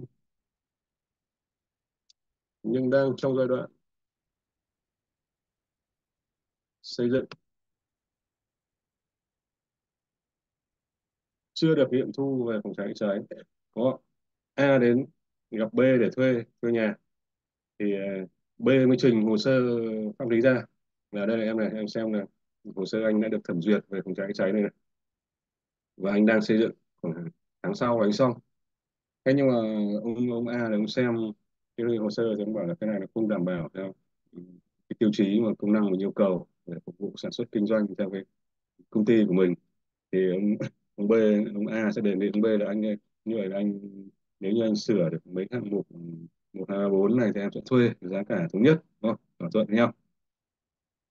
Thì cái trường hợp này thì là công trình đang xây đang xây thẩm rồi nhưng đang xây và chưa được nghiệm thu. Thì cái trường hợp này chủ tư để thực hiện đấy ừ, ừ, thì phải là ông B. Đấy, phải là cái ông có nhà cho thuê. Thứ nhất đã được thẩm nhưng đang trong giai đoạn xây dựng và chưa nghiệm thu phòng cháy để cải tạo thay công năng thì thì B B sẽ tiếp tục là chủ đầu tư. Tiếp tục là chủ đầu tư à, và sẽ phải tổ chức thiết kế điều chỉnh. Thiết kế điều chỉnh. Đó. trình thẩm duyệt điều chỉnh. Trình thẩm duyệt điều chỉnh. Đúng không? Trường hợp này ông B sẽ phải tiếp tục là chủ tư, nghĩa là cái ông có nhà cho thuê sẽ phải tiếp tục chủ tư. Còn ông A không hề có trách nhiệm. Khi nào anh xong thì em đến thuê. Đó. đây là trường hợp thứ ờ, thứ ba. Đây là trường hợp thứ ba. Xác định đúng chủ tư.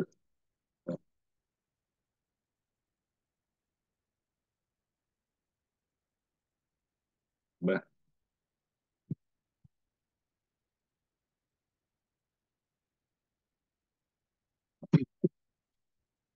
Trường hợp thứ tư còn một trường hợp nữa. Trường hợp thứ tư, cái gạch đầu dòng thứ tư. Đó, gạch dòng 1 này, 2 này. Gạch dòng thứ 3 này. Đây là gạch dòng thứ tư. Thì nó sẽ là cái trường hợp như này. Cái trường hợp như này.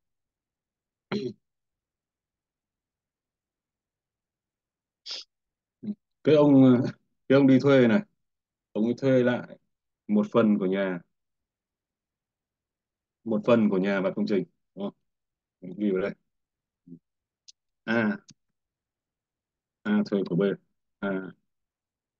Thuê của B. Một phần của nhà hoặc là công trình. Những loại có cái yếu tố như này với tôi như này nghĩa là thì tất nhiên là cái việc cái việc thuê xong thì uh, để mà nó liên quan đến thiết kế thẩm duyệt điều chỉnh thì là vẫn phải có yếu tố là là là tại vì cái ông đi thuê ông cải tạo thì mới sinh mới phát sinh ra là sẽ phải thiết kế điều chỉnh rồi. Đây thì A thuê của B một phần nhà công trình.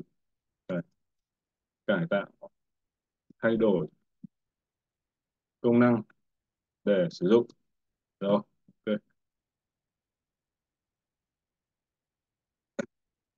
nhưng mà trong cái việc sử dụng đấy thì nó liên quan đến cái hạ tầng chung phải sử dụng với lại một số khác đấy.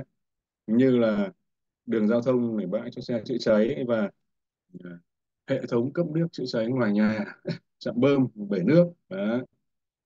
nhưng mà lại ừ, để sử dụng này. Phải. Nhưng phải sử dụng chung hạ tầng. Sử dụng chung hạ tầng. Ví dụ như là đường giao thông. Trong đường giao thông thì nó có cái yếu tố là đường và bãi cho xe chữa cháy. Đấy. hệ thống cấp nước ngoài nhà. Ngoài nhà. Ừ. trạm bơm phòng cháy chữa cháy đó bể nước dự trữ phòng cháy chữa cháy đó bể nước phòng cháy dự trữ phòng cháy cháy thì cái ông A sau khi mà cái ông cái ông A nó vào thuê ấy, mà ông lên cái kế hoạch cái bản thiết kế sơ bộ đấy về cải tạo như này thay đổi công năng như này quy mô công suất như này thì cái hệ thống của cái cái phần của cái ông thuê nó sẽ thay đổi đấy. và nó sẽ ảnh hưởng chung đến là ừ, cái hạ tầng cũng phải thay đổi? Đường cho xe cháy cũng phải thay đổi để phù hợp với công năng mà sau khi sau khi ông cải tạo hệ thống cấp nước ngoài nhà, trạm bơm, các thông số về công suất, lưu lượng, về cột áp, nó cũng thay đổi. Thì lúc này sẽ phải thẩm duyệt lại tổng thể. Sẽ phải thẩm duyệt lại tổng thể. Thì đối với cái trường hợp này thì ờ, chủ đầu tư đề nghị thẩm duyệt về phòng cháy. Thẩm duyệt thiết kế phòng cháy cháy phải là ông B. Thì chủ đầu tư đề nghị thẩm duyệt thiết kế về phòng cháy chữa cháy là B.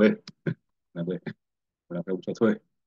Như vậy là chúng ta đi qua bốn cái trường hợp xảy ra và bốn cái trường này thì nó từ nó là được tổng kết từ thực, thực tế tại các địa phương thôi thì nó mới nó, đến giờ nó mới xảy ra bốn trường hợp thôi còn chưa thấy có trường hợp nào thêm nữa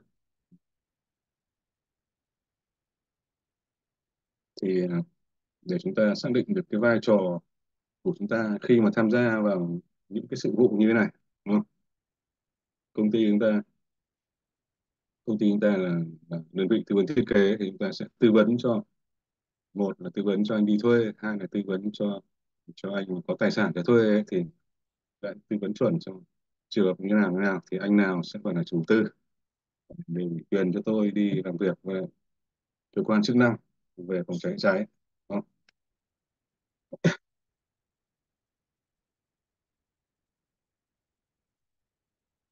Được.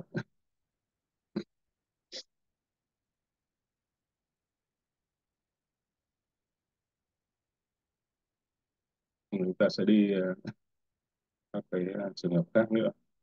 Khác nữa về cái tình huống xảy ra. Xử lý tình huống xảy ra.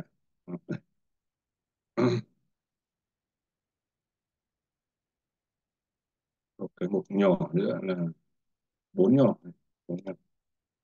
Đang là ba nhỏ rồi đúng không? Xong bốn nhỏ.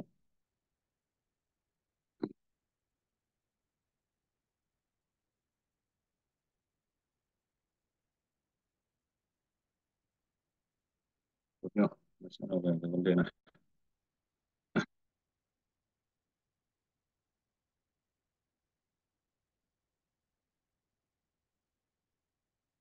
Nó sẽ là trường hợp mà giải quyết cái thẩm duyệt. Thẩm duyệt thiết kế. Thiết kế cải tạo. Thẩm duyệt thiết kế cải tạo. Cho công trình. Đã được nghiệm thu, đúng không? Cho công trình đã được nghiệm thu công trình đã được nghiệm thu thẩm duyệt thiết kế cải tạo cho công trình đã được nghiệm thu.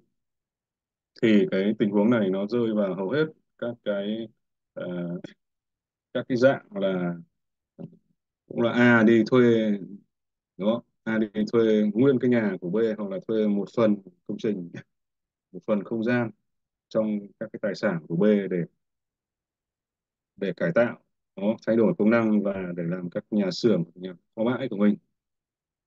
Hoặc là anh thuê mấy trăm mét vuông, mấy nghìn mét vuông sàn trong một cái tòa nhà cao tầng, trong một tòa nhà chức năng hỗn hợp, đúng không? để anh cải tạo, anh làm cái công năng riêng của anh. Có thể là phòng khám có thể là siêu thị có thể là một cơ sở đào tạo cơ sở y tế nhà trẻ mẫu giáo vân vân. Thì nó sẽ rơi vào cái trường hợp này. Thẩm duyệt thiết kế cải tạo cho công trình đã được nghiệm thu. Trong trường hợp thực tế nó xảy ra rất là nhiều.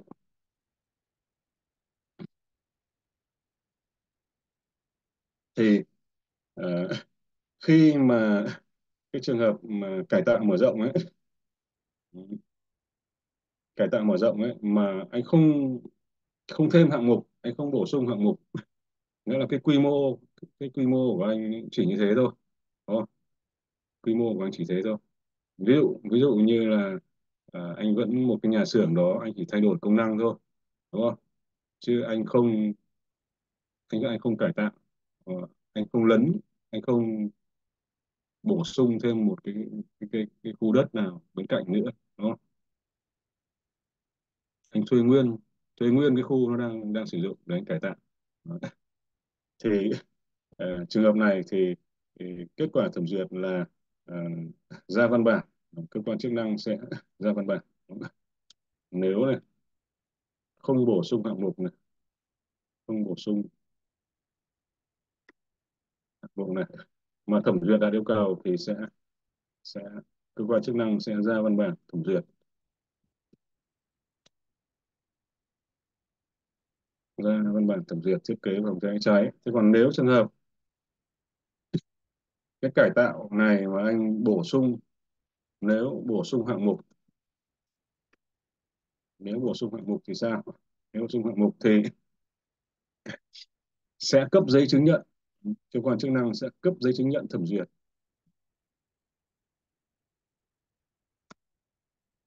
Cấp giấy chứng nhận. Thẩm duyệt. Thì chúng ta đều biết là cái à, văn bản thẩm duyệt và cái giấy nhận thẩm duyệt ấy thì nó là hai cái mẫu khác nhau của, được quy định trong phụ lục của ờ, nghị định 136 đối với cải tạo, thiết kế cải tạo mở rộng thiết kế cải tạo thông thường, đúng không? thì sẽ chỉ ra văn bản thẩm duyệt. Thế còn nếu như thiết kế cải tạo mà anh có bổ sung hạng mục thì sẽ sẽ cấp giấy chứng nhận. Đó. cơ quan chức năng sẽ cấp giấy chứng nhận, thẩm duyệt thiết kế phòng cháy cháy. Thì nó như là một cái hạng mục mới rồi, đúng không? rồi. Một cái trường hợp nữa các công trình đã đưa vào sử dụng nhưng chưa được thẩm duyệt nhưng chưa được thẩm duyệt thiết kế và nghiệm thu phòng cháy cháy theo quy định thì sao cái này nó xảy ra rất nhiều Đó. cái này, cái này nó xảy ra rất nhiều này. Thứ năm này. cơ sở đã hoạt động cơ sở đã hoạt động nhưng chưa được thẩm duyệt và nghiệm thu Đó. Là từ nói tắt của cái việc là thẩm duyệt thiết kế phòng cháy cháy và nghiệm thu về mặt phòng cháy cháy Đó. thì sao thì uh, cơ quan chức năng sẽ cơ quan chức năng tổ chức kiểm tra tổ chức kiểm tra đánh giá. Đó. Nếu đảm bảo yêu cầu an toàn phòng cháy chữa cháy theo quy định đó thì sẽ thì chủ cơ sở này hoặc là chủ đầu tư sẽ trình, sẽ lập thiết kế thiết kế cải tạo. Trình thẩm duyệt.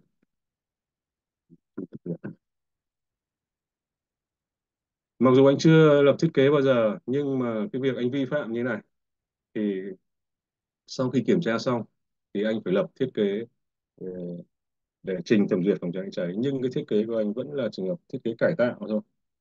Cải tạo, trình thẩm duyệt. Chứ không phải là thiết kế mới. Theo quy định là như thế vẫn là thiết kế cải tạo điều chỉnh bổ sung về phòng cháy cháy đúng không đấy là trường hợp kiểm tra đánh giá này nếu đảm bảo quy trình nếu đảm bảo nếu đảm bảo an toàn về phòng cháy cháy rồi thì chủ tư sẽ lập thiết kế đúng không? cải tạo trình thẩm duyệt đúng không? và nếu như à, cái thứ hai là nếu không đảm bảo nếu không đảm bảo yêu cầu an toàn phòng cháy chữa cháy. Thì thì phải yêu cầu khắc phục. Đó. khắc phục.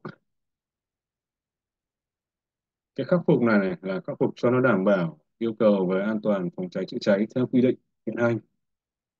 Thì cái việc khắc phục này là trong thực tế là nó sẽ được mời một cái ông nhà thầu đó ông nhà thầu có thể là ừ, có thể là hơn một ông nhà thầu ông thiết kế riêng ông thi công riêng hoặc là ông vừa thiết kế vừa thi công đến ông khắc phục cho.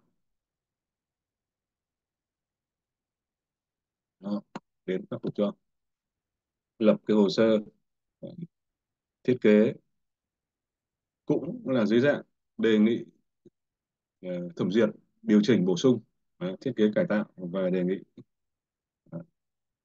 chủ tư yêu cầu khắc phục theo quy định này. Đấy. phải yêu cầu khắc phục theo quy định và sau đó là chủ tư chủ tư lập thiết kế cải tạo trình thẩm duyệt ok, đây là cái trường hợp thứ năm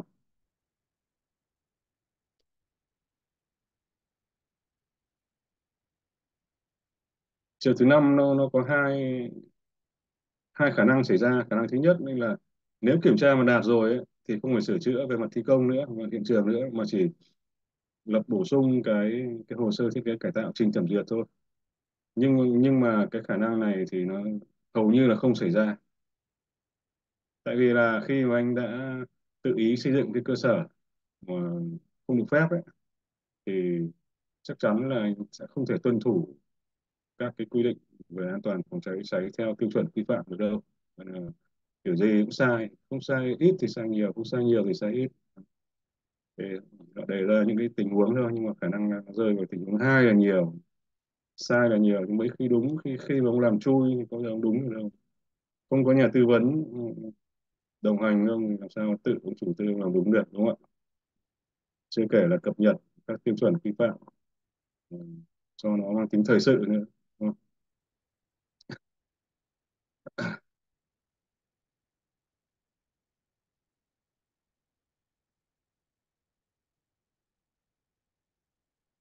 Rồi một cái trường hợp.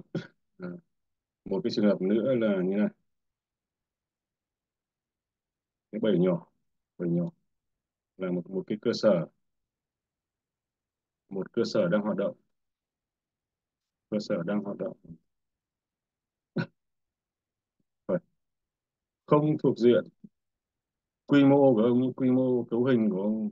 Không thuộc diện phải thẩm duyệt. Phải thẩm duyệt đúng không? Nhưng phải thẩm duyệt à, thiết kế về phòng cháy cháy đấy. nhưng sau khi cải tạo đúng không? Sau khi cải tạo thì cái cấu hình của nó tra theo phụ lục 5 của 136 ấy, thì nó lại nhưng sau khi cải tạo thì lại thuộc diện đấy, thì lại thuộc diện phải thẩm duyệt. Thì giải quyết như thế nào? Thì giải quyết như thế nào? Tức là thẩm thì thẩm duyệt như thế nào? Lập thiết kế như nào và thẩm duyệt như nào?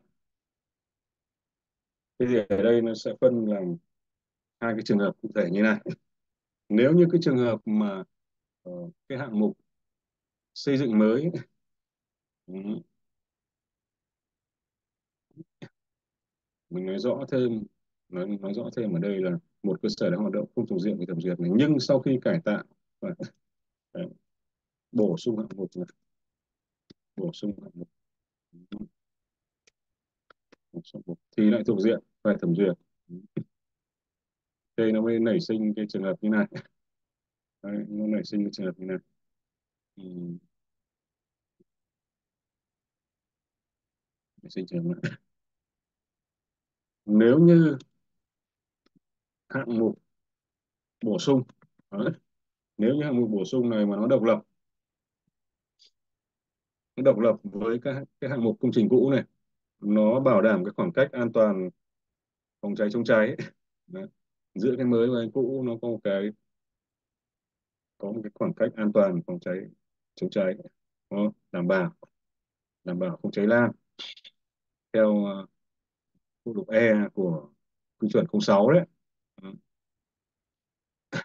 Thì và nó độc lập nó độc lập nghĩa là độc lập về mặt không gian và độc lập về mặt kết cấu đúng không? thì chỉ uh, đối chiếu thẩm duyệt riêng cái hạng mục mở rộng thôi theo quy định hiện hành thôi cái cũ không không phải tính vào đó. một cơ sở đang hoạt động không diện thẩm duyệt này. nhưng sau khi cải tạo bổ sung thì có thể ông nâng cái diện tích sàn lên rồi đúng không sau khi bổ sung thì tổng cái diện tích sàn của cơ sở ông nâng lên đến cái con số hoặc là cái khối tích ông nâng lên con số mà phải phải thẩm duyệt rồi. Thì nếu như hạng mục bổ sung mà độc lập độc lập là độc lập về mặt không gian và, và, và kết cấu này và đảm bảo khoảng cách khoảng cách phòng cháy chống cháy đối với hạng mục cũ này mục cũ, thì chỉ yêu cầu yêu cầu thẩm duyệt hạng mục bổ sung. Bổ sung theo quy định hiện hành. Đó, quy định hiện hành nghĩa là áp dụng các tiêu chuẩn quy phạm hiện hành. Đó đối với một mục bổ sung. Còn những cái cũ rồi nó làm không động đến nó đấy như độc lập. Những độc lập. Thế còn nếu như mà nếu như hạng mục bổ sung ấy, nếu nhiệm vụ bổ sung mà nó có liên quan có liên quan. Không độc lập gắn liền gắn liền về mặt kết cấu về mặt không gian. Đó, đó. liên quan kết cấu này.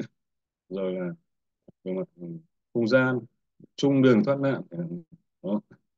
Hoặc là không đảm bảo về ngăn cháy không đảm bảo về khoảng cách an toàn phòng cháy chữa cháy. Đó, thì sẽ phải thẩm duyệt tổng thể. Đó.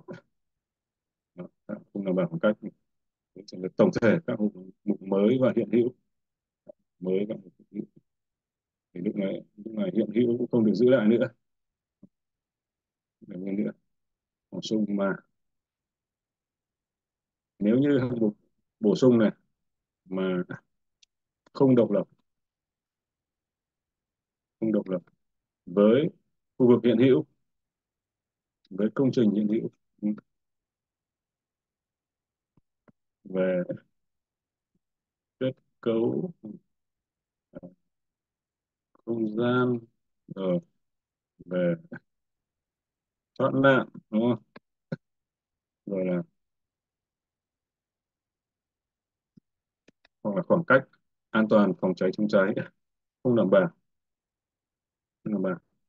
Thì là như này là có thể nó độc lập về không gian độc, độc lập về mặt kết cấu nhưng nó nằm có thể nó riêng đường thoát nạn, nhưng mà về mặt vị trí nó nằm gần nhau quá. Nó không đảm bảo cái khoảng cách ừ, an toàn về phòng cháy cháy. Đấy. khoảng cách phòng cháy cháy không đảm bảo an toàn. Không đảm bảo an toàn. Thì phải thẩm duyệt tổng thể.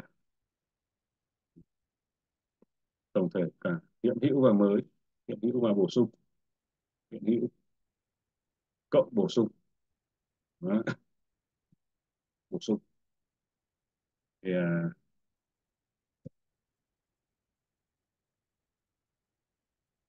đây là cái lưu ý thứ bảy. Thứ bảy.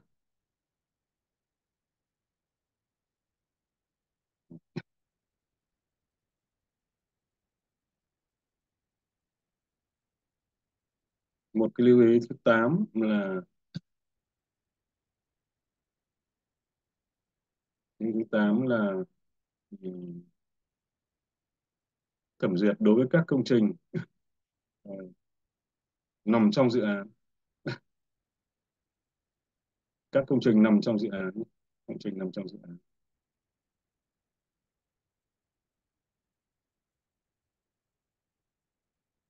Rồi, tám.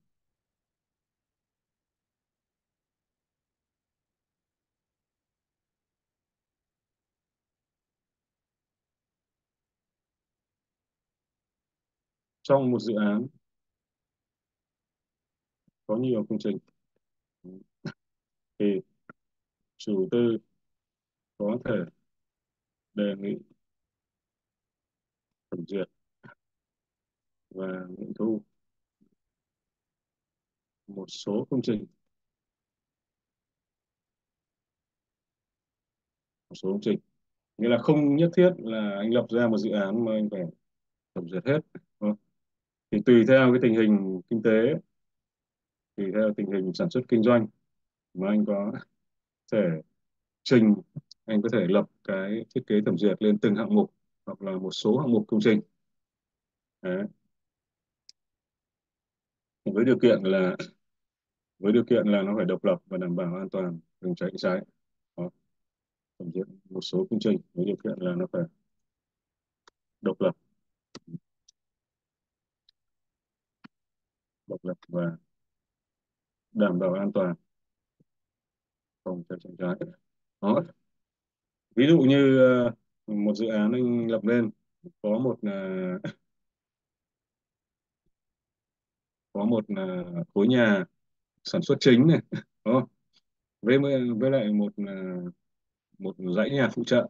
Thế nhưng mà trong cái điều kiện, tình hình là tiền anh chưa đủ thì anh chưa thể làm được nhà phụ trợ. Đó thì anh chỉ đề nghị là anh, anh chỉ cần lập cái thiết kế uh, của cái hạng mục nhà xưởng có bãi chính đó. anh đề nghị thẩm duyệt trước đây và thi công nghiệm thu trước đó rồi cái phần kia anh làm sau thì anh thẩm duyệt sau được. Hoặc là một dự án bao gồm một khu nhà cao tầng này một khu thương mại hoặc là ờ, cả những cái khu nhà trẻ dịch vụ khác nó nằm độc lập khu đất với nhau. Thì anh chủ tư anh có thể đề nghị thẩm duyệt một lần đối với toàn bộ dự án. Hoặc là anh thẩm duyệt về phòng cháy cháy riêng đối với từng hạng mục anh đầu tư. Theo tiến trình anh đầu tư, thì anh có thể làm từng phần. Từng phần. Với điều kiện là nó phải đảm bảo độc lập và đảm bảo an toàn về về phòng cháy chữa cháy. Đầu tư. Rồi.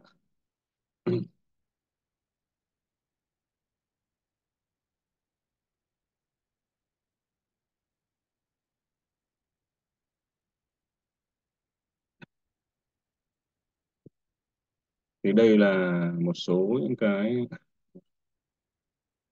một số những cái uh, lưu ý đó để khi mà chúng ta gặp phải cái tình huống uh, trong thực tế chúng ta vận hành công việc của doanh nghiệp chúng ta công ty chúng ta đó.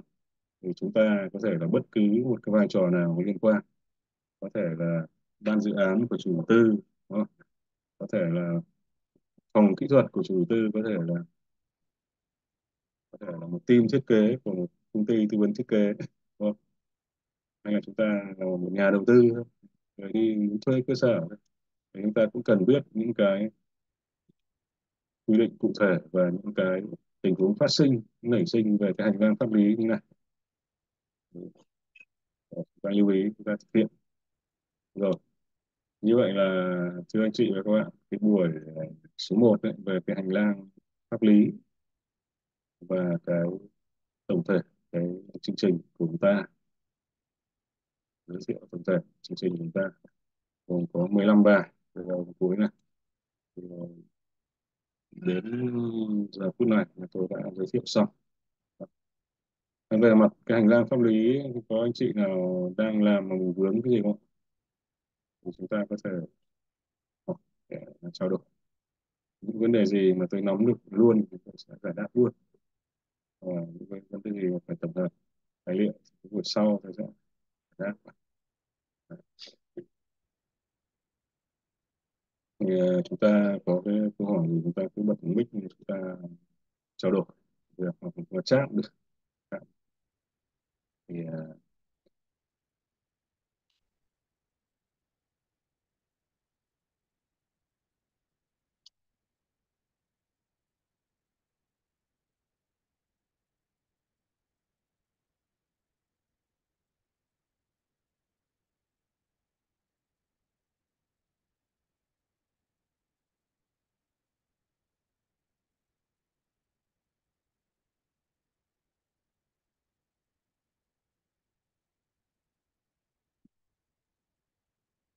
Vâng. rồi. Nghĩa là cái buổi đầu này có thể à, anh em ta chưa quen lắm với việc tương tác, đúng không? Ta có mạnh dạn nhé dạn như là chúng ta ngồi họp team với nhau thôi mà có vấn đề gì đó các cái lớp có một, có hai người ta tương tác nó rôm rả. Có nhiều câu hỏi khó mà không trả lời được, tôi chưa trả lời được luôn thì tôi sẽ trả lời sau. Mà ờ, cam kết với chị em là cái vấn đề gì cũng phải có cách giải quyết, đúng không?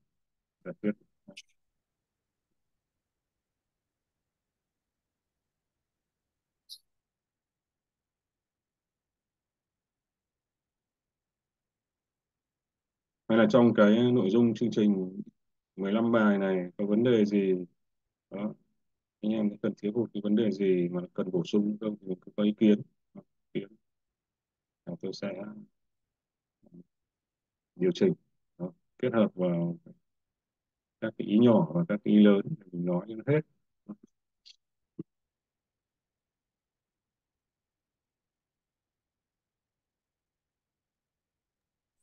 Hả? Hello, dạ, thầy ơi, dạ, thầy cho em hỏi một câu ạ. à. Dạ, dạ, thầy ơi, cho em hỏi là giả sử ờ, công trình của mình đó à, đã được ờ, cục thẩm duyệt và đã được, được nghiệm thu rồi, thì ờ, sau này có khách hàng họ vô họ thuê một tầng để họ cải tạo á, à. thì mình xin thẩm ờ, thẩm duyệt cái cái cái gói cái phần cải tạo đó là mình xin ở cục luôn hay là hay là ở ở ở địa phương được rồi thầy? à không mà thẩm quyền của cục với địa phương ấy thì nó tùy thuộc vào quy mô của công trình của cái đoạn trên em nghĩa là bốn cái ý là thứ nhất là uh, Ờ, dự án quan trọng quốc gia thứ hai là dự án nhóm A đúng không? Thứ ba là uh, công trình cao trên trăm mét và thứ tư là dự án và công trình này mà cái ranh giới đất của nó trải dài từ hai tỉnh và thành phố trực thuộc trung ương. Đấy thì lúc đó là mới phân cụ thể ra làm sao là thẩm quyền thuộc về ông nào. Đấy, cục hay là phòng. Đấy. chứ còn nếu như em chỉ nói là anh thuê lại một cái một cái hạng mục công trình để anh cải tạo. Thì lúc ấy cũng chưa thể xác định được là là, là cục hay là phòng. Em hiểu không? Chẳng hạn như là anh thuê một cái ờ, miếng đất nó nó nó nằm ở uh, giáp ranh giữa Bình Dương với Đồng Nai chẳng hạn đúng không? Hay là giáp ranh giữa thành phố Hồ Chí Minh với Long An giáp ranh giữa ờ, Bắc Ninh với Hà Nội đúng không? Mà nó trải dài qua cái địa giới của hai tỉnh thì là phải cục cục thẩm rồi. Đúng không Tuấn Anh hiểu chưa? Tuấn Anh nói kia À, dạ thầy ý em hỏi là cái cái phần cải tạo của thầy. Ừ. à, thí dụ à, à, tòa nhà văn phòng à, đã được cục thẩm duyệt rồi à, nhưng mà em thuê một một tầng của cái tòa nhà để để em, em làm văn phòng thôi thì em em có cải tạo cái văn phòng đó. À thì hiểu nếu hiểu. mà dạ thì, hiểu thì hiểu, lúc mà mình cải tạo xong rồi thì mình thì lúc đó là cục thẩm duyệt tiếp hay là cục phê duyệt cái phần cải tạo hay là hay là như vậy thì đúng rồi tình huống này nó hay đấy tình huống này hay. Nghĩa là ờ, sẽ căn cứ vào cái cái việc em khoanh vùng. Sẽ căn cứ vào cái cái việc em khoanh vùng cái ừm, quy mô của em ở đâu. Đấy, quy mô cải tạo của em ở đâu. Hiện hữu là như thế nào. Đó nó có ảnh hưởng đến toàn bộ hệ thống hay không? Đúng không ạ? nếu cái cải tạo của em ấy mà nó không ảnh hưởng đến đến hệ thống ấy thì không cần thiết phải đến cục. Nhưng mà cái cải tạo của em mà nó ảnh hưởng đến hệ thống ấy thì sẽ phải thẩm ở cục. Phải thẩm ở cục. Đúng không ạ? Ví dụ như uh, khi mà em cải tạo ấy mà nó không làm thay đổi cái uh, cái hạ tầng đúng không? Không làm thay đổi cái quy cách của chiều dài chiều rộng của đường xe cháy và bãi đỗ xe cháy. Đó.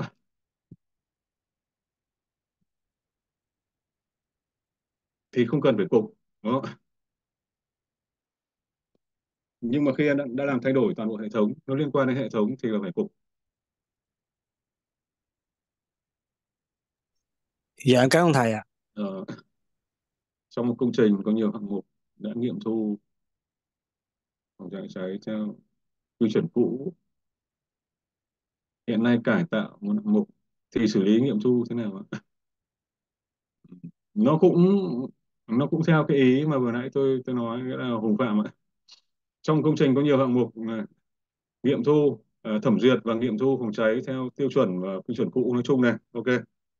Hiện nay cải tạo một hạng mục. Ok nhé hiện nay cải tạo một hạng mục thì ừ, Hùng Phạm sẽ phải làm rõ ra sẽ phải khoanh đám mây ra là cái hạng mục cần cải tạo nó là hạng mục gì? Và những hạng mục hiện hữu những hạng mục hiện hữu nó là hạng mục gì? Đúng không? Khoanh đám mây phân vùng nó ra. Thì những cái hiện hữu thì mình không cần động đến nó. Những cái hiện hữu không cần động đến nó nữa. Đó kể cả là như thế này. Kể cả là khi uh, khi anh cần bổ sung thêm bơm ấy, anh cần bổ sung thêm bơm ấy, thì anh cũng chỉ thẩm cái phần lưu lượng bơm bổ sung thôi. Và anh kết hợp anh đấu nối giữa hệ thống mới và hệ thống cũ thôi. Còn cái hệ thống hiện hữu rồi anh vẫn để nguyên cái cụm bơm hiện hữu của người ta. Anh chỉ bổ sung lưu lượng vào đấy thôi. Đúng không? Thì phải khoanh khoanh đám mây ra khoanh mây những cái phần nào cải tạo. Thì uh, xử lý theo cái ờ, ờ, uh, áp theo cái tiêu chuẩn quy phạm hiện hành. Đúng không còn những phần nào là hiện hữu thì đương nhiên để nguyên rồi. Đương nhiên để nguyên. À, ví dụ như bốn ờ, bốn cái nhà xưởng này bốn cái nhà xưởng nhá. Đó bốn nhà xưởng này. Thì eh, bây giờ anh cải tạo một cái nhà xưởng trong bốn cái nhà xưởng đó đúng không? Sau khi cải tạo thì anh anh làm cho cái uh, lưu lượng tổng lưu lượng bơm nó thay đổi lên. Thay đổi lên thì anh cũng không nhất thiết là anh phải đi lại toàn bộ cụm bơm và đường và đường ống và anh thẩm duyệt theo tiêu chuẩn quy phạm mới. Mà cái phần đó anh vẫn được giữ hiện hữu vẫn được giữ hiện hữu đúng anh chỉ anh chỉ lắp thêm bơm để cho nó bù bù công suất thôi là được. Thì à, cái nhóm à, như này tôi đã làm ở tôi làm ở, ở Long An rất là nhiều. Long An rất nhiều. 밤에는 매일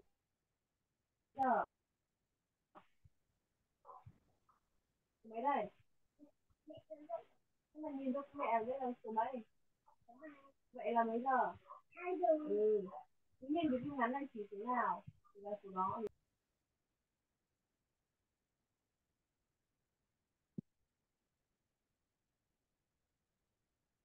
về vấn đề này à, bạn bạn Hùng Phạm còn thắc mắc gì nữa không ạ? À, ok. Nếu ở Long An thì ờ, cứ gặp ừ, trưởng phòng Vũ đúng không? trưởng phòng Vũ sẽ duyệt cho phương án đó ngay. Tôi tôi đã thẩm duyệt nhiều nhiều cái đúng không? Và chỗ anh, anh ờ, ờ chỗ phòng ờ, PC07 ở dưới đó họ cũng tháo gỡ cho doanh nghiệp nhiều nhiều cái tình huống mà nếu như chúng ta không tận dụng được ấy, là chúng ta phải phải đi lại toàn bộ cái đường trục ấy thì nó sẽ rất là tốn kém đúng không? Tốn kém không tiết kiệm tiền cho doanh nghiệp.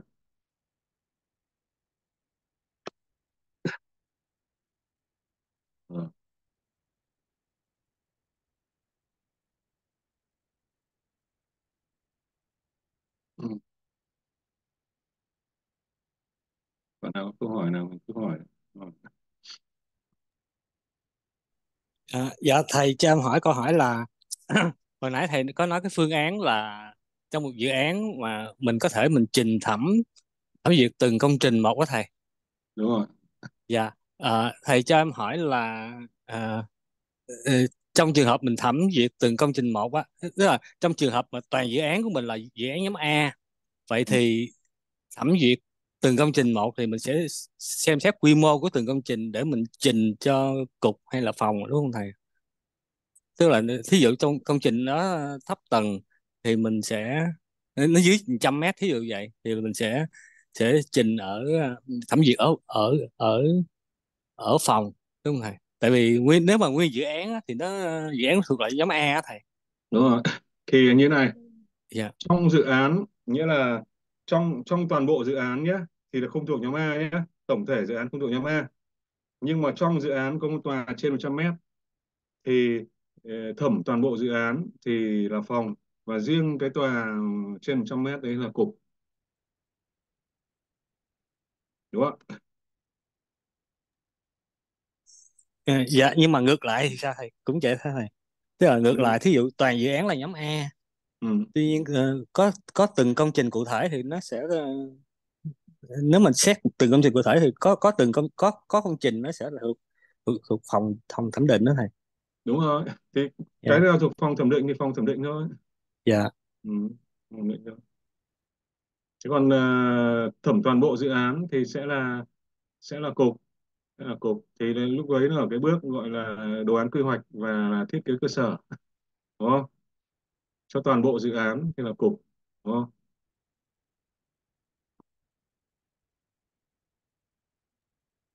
Dạ thầy cho em hỏi là à, hồi nãy thầy có nói thiết thiết kế cơ sở thì cần cần phải ờ, trình cái năng lực ờ, về phòng cháy chữa cháy của đơn vị tư vấn.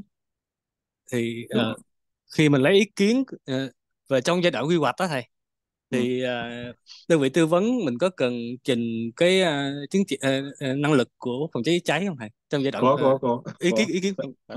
có. Tại dạ. vì là ông ông đã làm về góp ý phòng cháy cháy cho quy hoạch thì ông phải có chuyên môn về phòng cháy cháy vẫn phải trình. Ờ, dạ. Vẫn vẫn phải trình. Dạ cảm ơn thầy. Ừ,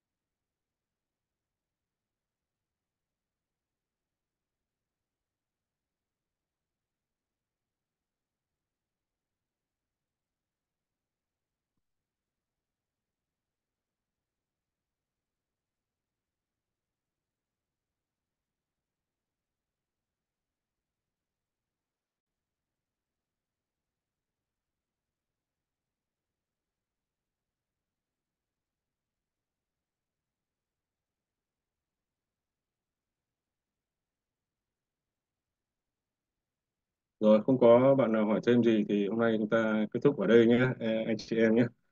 À, đến thứ ờ, ba thứ ba 20 giờ chúng ta lại gặp nhau nhé.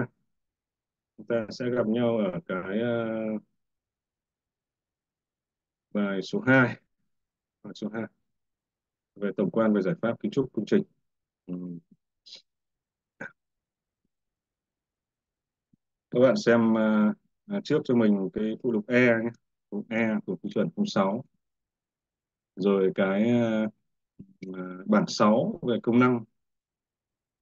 Bảng 6 về công năng của nhà và công trình. Nghĩa là cái ờ, tính nguy hiểm cháy theo công năng ấy, bảng 6 của quy chuẩn 06 thì chúng ta sẽ gặp nhau 20 giờ tối thứ ba.